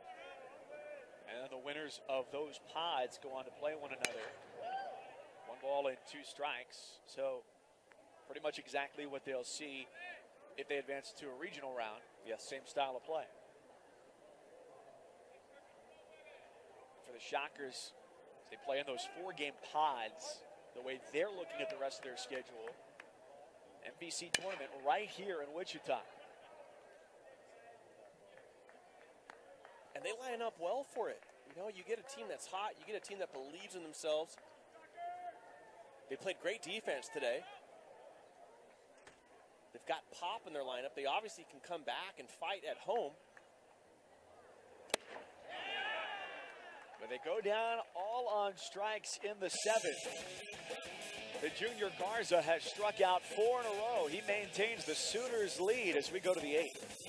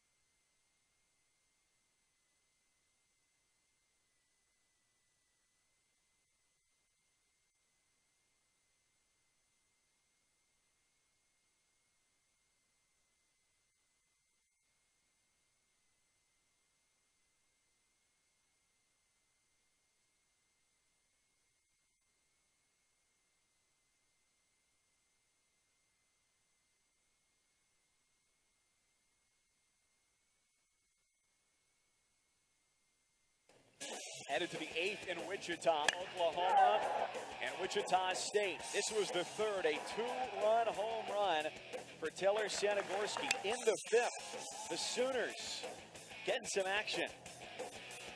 Craig Aiken with the RBI single scores Kolbey Carpenter on a very close play, safe underneath the tag. And then into the sixth, leading things off. Anthony Hermelin goes deep out toward left field, his second long ball of the year. Wichita State able to answer back. Sam Hilliard, a triple off the fence, a throwing error, and it comes all the way in to score. Two more for the Shockers in the sixth. That is where we stand now. 8-7 with Oklahoma in the lead and the Sooners at the plate. 21 hits, 15 runs. And a beautiful night in Wichita. Just a good night for a barbecue. It is. A little bit of breeze to start things off. It's died down. Nice crowd on hand. Beekler goes back to work. Inside as we go back to the top of the lineup. One, two, and three. With Aiken, the center fielder, stepping in.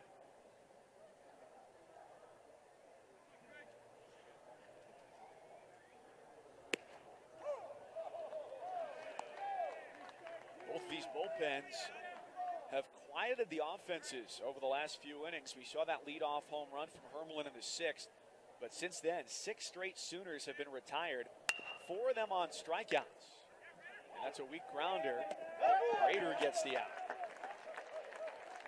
So that's seven in a row set down. Talking about those bullpens, Pete Hughes still has at his disposal with the lead here their left-handed closer Jacob Evans. First baseman Robert Cecile. Might try to stay away from him though. He mentioned, look, in a perfect world, maybe I do stay away from him. Get ready for him to pitch all weekend. Got a big conference matchup against Oklahoma State coming up. That'll be a good one, the Bedlam series. One game in Tulsa, and then the final two at Bricktown Ballpark in Oklahoma City. Playing some high quality facilities there. And they pack them in for it. 0 1 to right center field. Keeley to his left.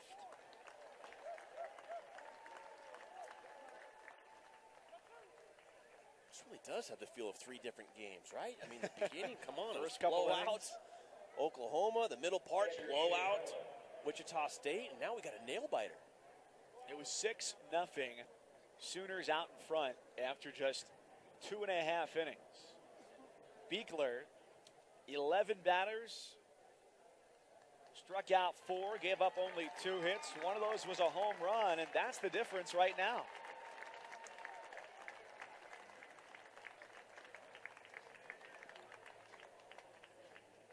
So Beekler takes a seat, and John Hayes, redshirt junior out of Texas, coming on in. Meanwhile, Oklahoma, we talked about that series against the Cowboys coming up this weekend. And they've got Kansas State, Stephen F. Austin, and number five at TCU.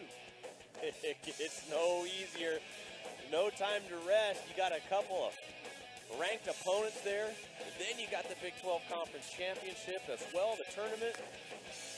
Yeah, TCU is no joke. Number five in the rankings this week the coaches poll, number seven in the RPI. Granted, it's a down year for the Longhorns, but they Uh-huh. just swept Texas over the weekend. That's the thing. Anyone can beat anyone in that conference at any time. And so there really isn't one where you just go into the weekend saying, oh, we got this. Horned Frogs in the mix right now for a national seat. The new pitcher is John Hayes. Hayes is one of those guys who's just really an athlete out there. That's what Todd Butler describes him. He's actually recruited as a quarter mile runner out of high school.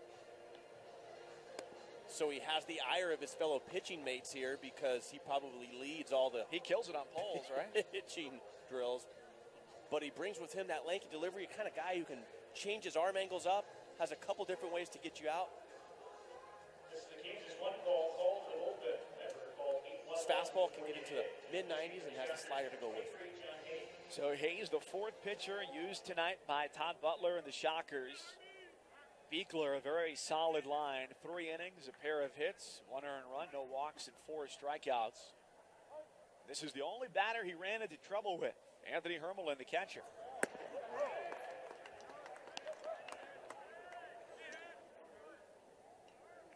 A walk in the first, RBI single in the second. Popped out in the fourth, and that home run over the wall in left.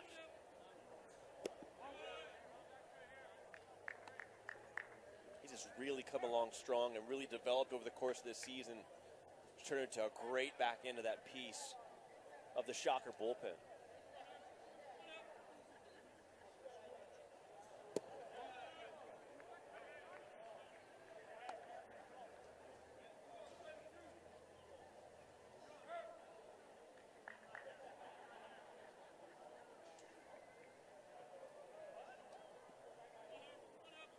Behind two and one.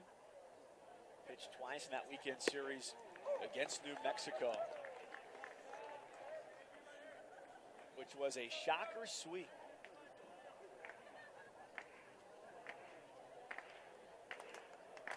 Two solid outings.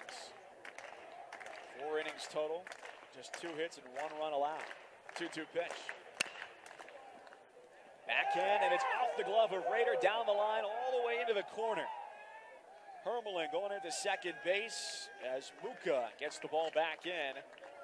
Chance for a 1 2 3 inning by the wayside. The Sooners threaten to score here in the eighth. Just before that look there that we see of Rader, I saw him give a little tap to the chest to his pitcher, John Hayes, like, look, that was my bad. My bad, because although the ball was hit down the line, it wasn't a rocket down the line. It didn't hug the grass, and in fact, should have been a play that was made. So the scorekeeping might be giving it a hit, but I think he knows, and I got a feeling up here that he wishes he had made that play and, and could have made it. Right now it stands on the board as base hit number 14 for the Sooners. So runner at second, the cleanup man, Sheldon Neuse.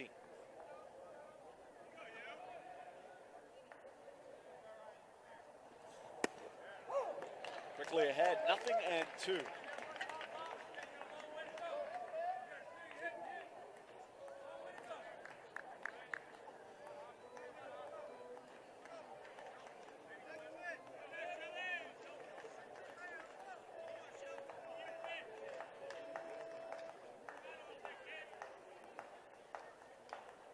The 0 2 pitch. Swing and a miss. Barnes to his feet, and the inning is over. So some trouble, but Hayes works around it. The Shockers, 8 9 and 1 on the way, bottom eight.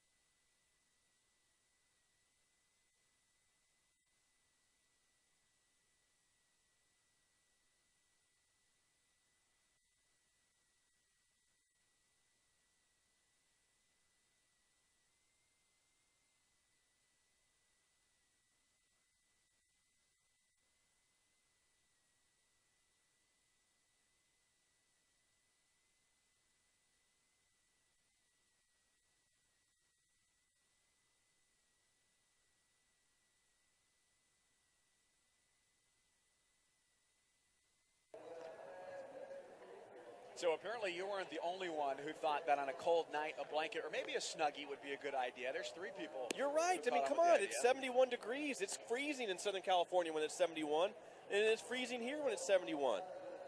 You're going to be sitting in the living room in a couple days. Doorbell's going to ring, and there's going to be a snuggie on your doorstep. Top-ranked LSU lights up ESPNU. The Tigers take on the Dogs at Starkville. It's SEC baseball on ESPNU. LSU, Mississippi State, Thursday, 7:30, and the series continues with Game Two Friday at eight.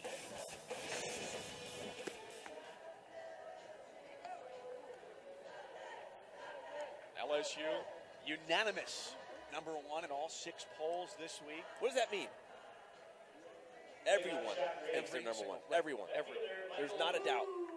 It was impressive what they did last week. They hit 330 when they took two out of three last weekend against Texas A&M. Bottom of the eighth inning, Michael Muka, who is a pinch hitter in the fifth and stayed in the game in left field, is 0 for 1.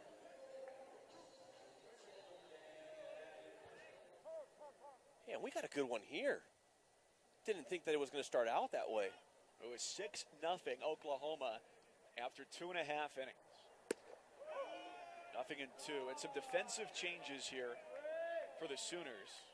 As Kolbey Carpenter moves from second base to first. And into the game, Kyle Mendenhall, the freshman out of Carlsbad, California. He's at second. So Robert Tassine out of the field. There's Mendenhall.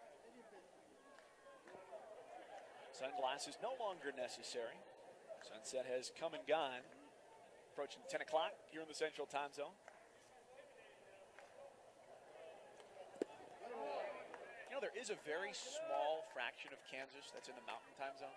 Right now? Always. Not just right, always. Which part? Very western part of the state. Which city?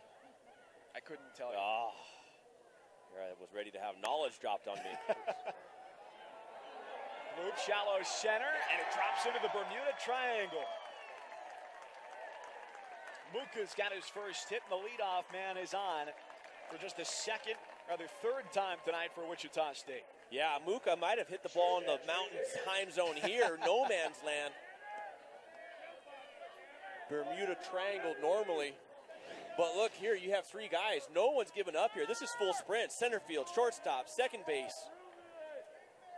And instead, that has some turf and a base hit under it.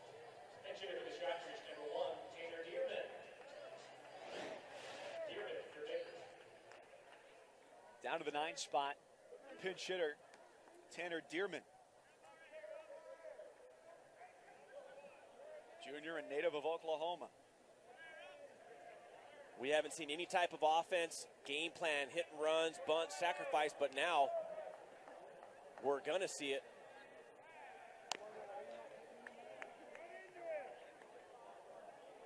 Tyler Coolbaugh is all the way up, trying to take away the sacrifice bunt.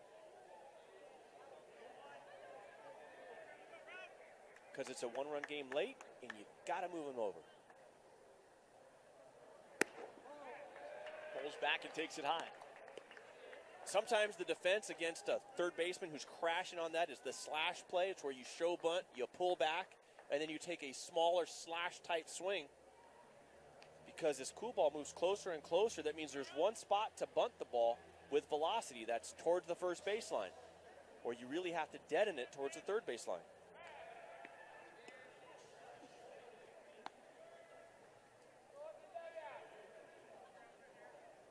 So we've reached the chess match portion of the ball game. With the Shockers trying to move Muka into scoring position. The bunt is down. Coolbaugh. And the sacrifice is successful. Muka up to second base, and now they've got it exactly where they want it. The lineup turning over. Keeley, Tinkham, Hilliard, Hey, and tip your cap there to Tanner Dearman. It's tough to come off the bench and hit. Then you come up against a guy who's punched out, it seems, the entire world, and you have to sacrifice bunt with the third baseman in your hip pocket. And look how what a great job he does at deadening the ball so that Coolbaugh cannot make the play. He executes a wonderful sacrifice, man in scoring position. Does it become more difficult? Does the importance of deadening the baseball rise on this surface, a faster surface? Oh, big time. You combine that, that's why I don't think you can understate how important and what a great job of bunting that was. With the third baseman, you know he's crashing, and you have a plus arm on the mound who makes it tough to bunt. Couldn't have done any better than that. So, what a time it would be for Keeley to pick up his first base hit of the game. Couple of strikeouts, 0 for 4.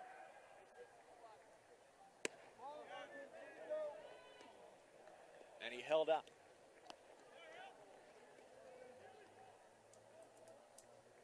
Came into the game hitting 333, ninth best in the Missouri Valley Conference, and a 279 hitter with runners in scoring position.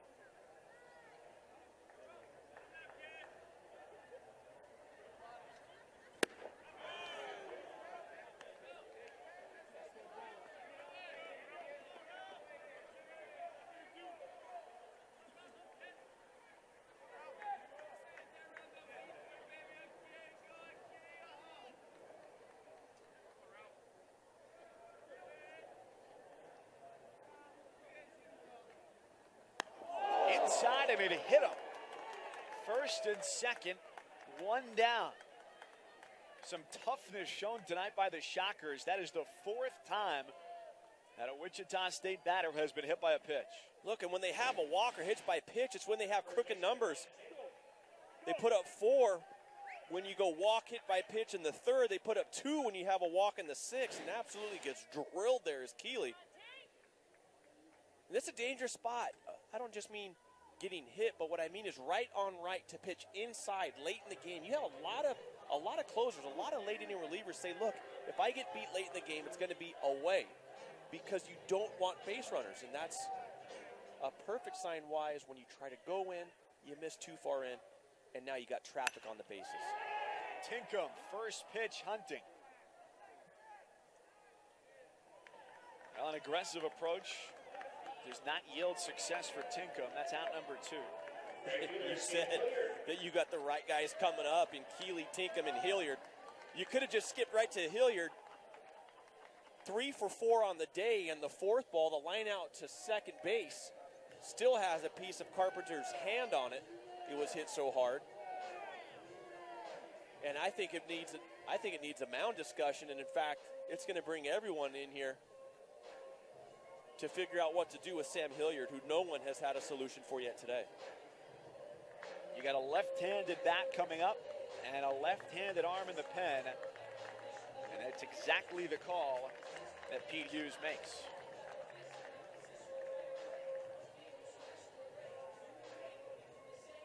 Garza had good stuff. Came in, racked up five strikeouts. He exits runners on base. Lefty lefty matchup. Hilliard coming up.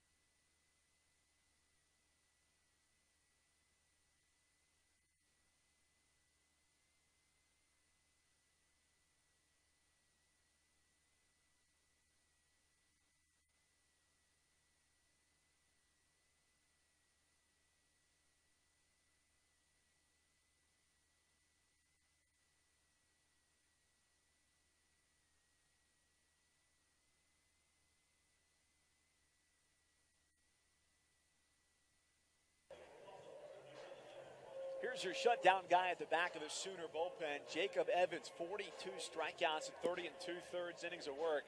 And he comes in in a tight spot here, a one run lead for Oklahoma. Bottom of the eighth inning. Runners at first and second, and the dangerous Sam Hilliard coming up. Yeah, and you got the right guy on the mound. Pete Hughes said he's just done such a tremendous job. He's got a plus breaking ball from the left side, but also can run it up there to 91, 92 miles an hour. Look at the strikeouts 42 strikeouts in 30 and a third, two thirds innings. That's put away material. And so, in a perfect world, you stay away from them because PDU says, look, we got a big weekend series. But every game is important now. When RPI is at stake, your record is at stake, getting into the postseason is at stake. And so he sees himself in a tight spot, called upon to get four big outs to seal a victory for the Sooners. One's down to 6 nothing in this one. Wichita State has been climbing back ever since. They scored four in the third, one in the fifth, two in the sixth, on a quasi inside the park home run by Hilliard. His last time up, smashed it to the right of the 390 marker in center field. That was a triple. Scored on an error. First and second, two down. Snap throw, second base. He's really had one of those days at the plate where it's like he's just messing with everyone. Almost like a wiffle ball, you know, when you're just having fun out there because there's just been such contact. He hasn't looked anything sort of unreal today. And now he has his biggest test with an acclaimed left handed closer on the mound.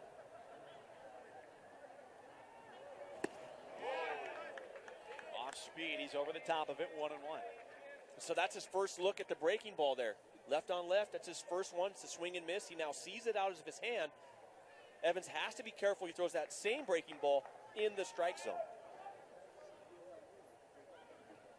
Muka at second, and Keeley was hit by a pitch. He's at first. You see how he's able to take it there. That's the same exact pitch that he swung at before. The breaking ball in the zone and then out. He swings the first time, makes the adjustment the second time.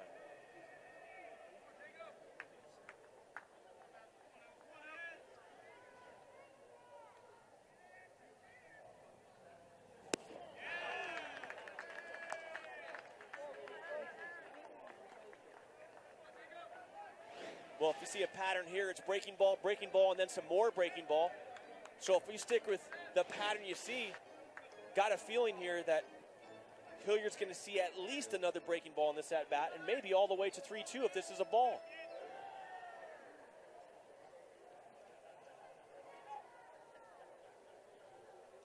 Two and two. Driven center field, falling fast, and it's down for a base hit. And it gets all the way past Aiken. Muka is in to score. Keeley rounding third all the way from first. He's in to score. And Wichita State leads for the first time tonight. It's 9-7, Shockers in front. Or 9-8, beg your pardon. Sam Hilliard takes the breaking ball. And I said, watch out if you get a breaking ball in the zone because he's seen it. Where's his ball? That's a breaking ball up, out, over, and with the day Sam Hilliard has had, he is not going to miss that, and it's smoked. Smoked so bad that Aiken is not able to come up with it, and it skirts past him, and you take a one-run single into a two-run double. And advancement to third base, 90 feet away from another run scored. A huge change now with an insurance run at third. So Evans, tasked with being the shutdown man, allows both inherited runners to score. Strike one to Bob Arn. I'm telling you, whatever he ate, whatever he snacked on, whatever he wore, whatever he looked at, whatever walk or path he took to the field today, Sam Hilliard needs to do the same thing the rest of the season on fire. Score that play officially as an RBI single and an error on Aiken, his mm-hmm. third error of the year. Wow. What a performance today. Barnes liner to short, inning over. Some hot hitting from Sam Hilliard and some assistance from Craig Aiken in center field. And now the Shockers take this game to the top of the ninth inning, looking to end a seven-game skid against Oklahoma. A chance to beat the Sooners for the first time since 2009 is three outs away.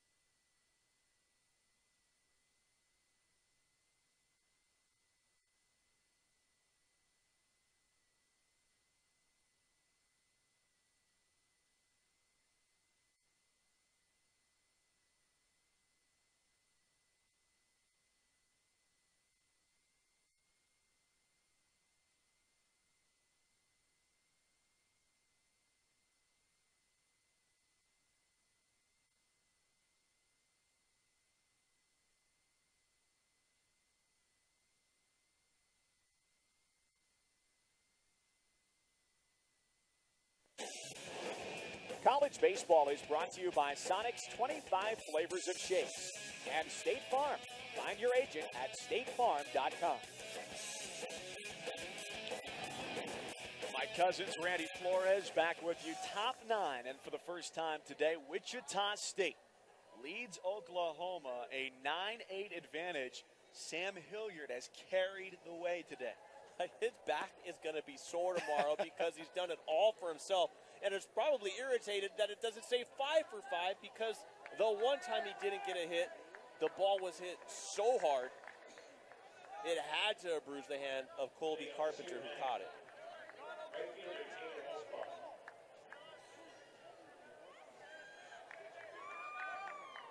The Sooners in the ninth with Allspaw, Carpenter, and Haley. Still a dangerous trio. Five, six, and seven. The ninth inning starts with strike one.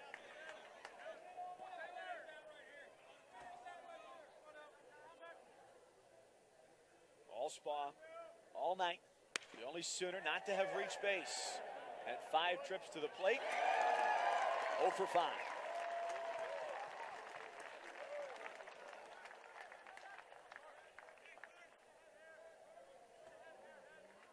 First baseman Kolbey Carpenter. So here's a chance for the Sooners to make some noise. Their hottest hitter, Kolbey Carpenter.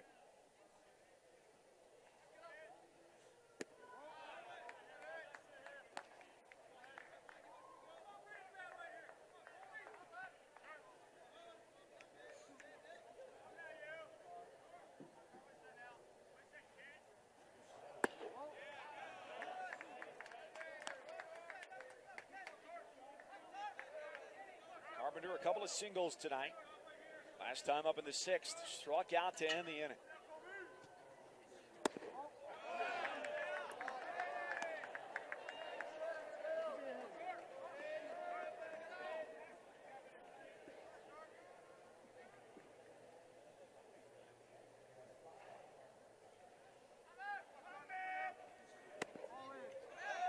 And the tying run is aboard a four pitch walk to Carpenter. Although he's now at the bottom part of the order, he does have three left-handers to contend with. Left and is probably feeling very good or very fortunate that he got the leadoff runner there because you said it, that insurance run did not come across. But since there is an out, the sacrifice bunt doesn't come into play. Strong fastball to start off Hunter Haley. That walk was just the third of the night given up by Shockers pitching. A lot of times you see a high scoring game, 9 to 8. You think a lot of perhaps self inflicted Right. damage. It hasn't been the case. More so, Oklahoma has had that. Four hit batsmen. And after four quick balls, he now has two quick strikes.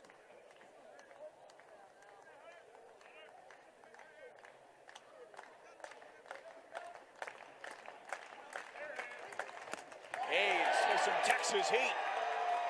Two down. And the 10th strikeout of the night by Wichita State. It's called climbing the ladder. He wants it up. He throws it up. He gets it up. One out away now from coming back from a six run deficit.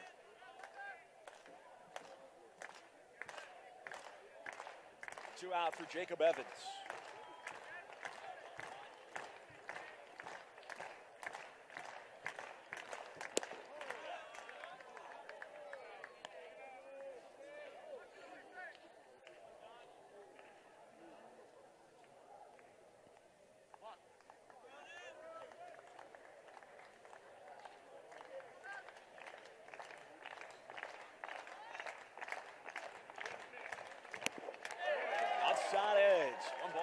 strike. In a game where the Sooners once led 6 0. Seventeen combined runs, 24 hits tonight in Wichita.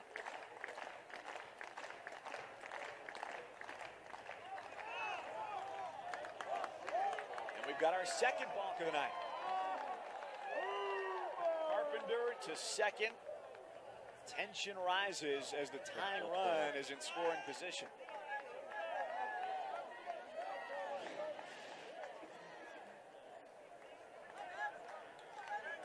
Got to make that throw. You can't. You can step off the mound and step back and then fake throw, but he made a pickoff move and didn't throw. That is a ball.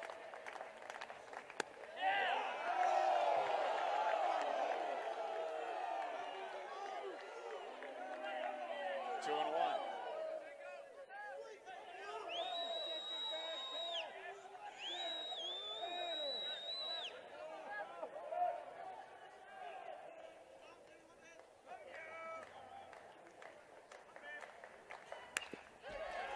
And down to their final strike.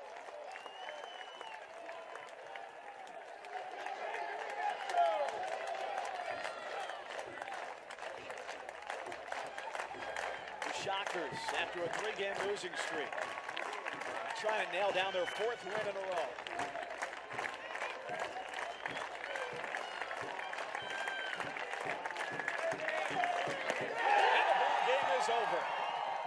Down 6 0.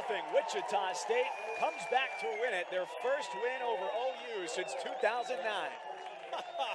Todd Butler said, Look, I love this team because they got fight. They don't give up. And when you don't give up, and when you look to make the postseason push, you got to have production from spots you didn't anticipate. And so they got it from Sanagorski. But you got to have your horses come through as well. And there was no bigger horse on the field today than Sam Hilliard. An unbelievable day, almost single handedly brought him back to victory. Hayes finishes it off, and the Shockers improve to 18 and 26. Big series coming up this weekend against Missouri State. Oklahoma now 29 and 19. In-state rival Oklahoma State awaits for the Sooners. Coming up next on ESPNU Sports Center Special, presented by Experian. Gruden and Kiper's draft preview from the ESPN Wide World of Sports Complex in Orlando, Florida. From our partner Randy Flores, Mike Couzens, thanks, thanks so much for joining us, and good night from Wichita, Kansas.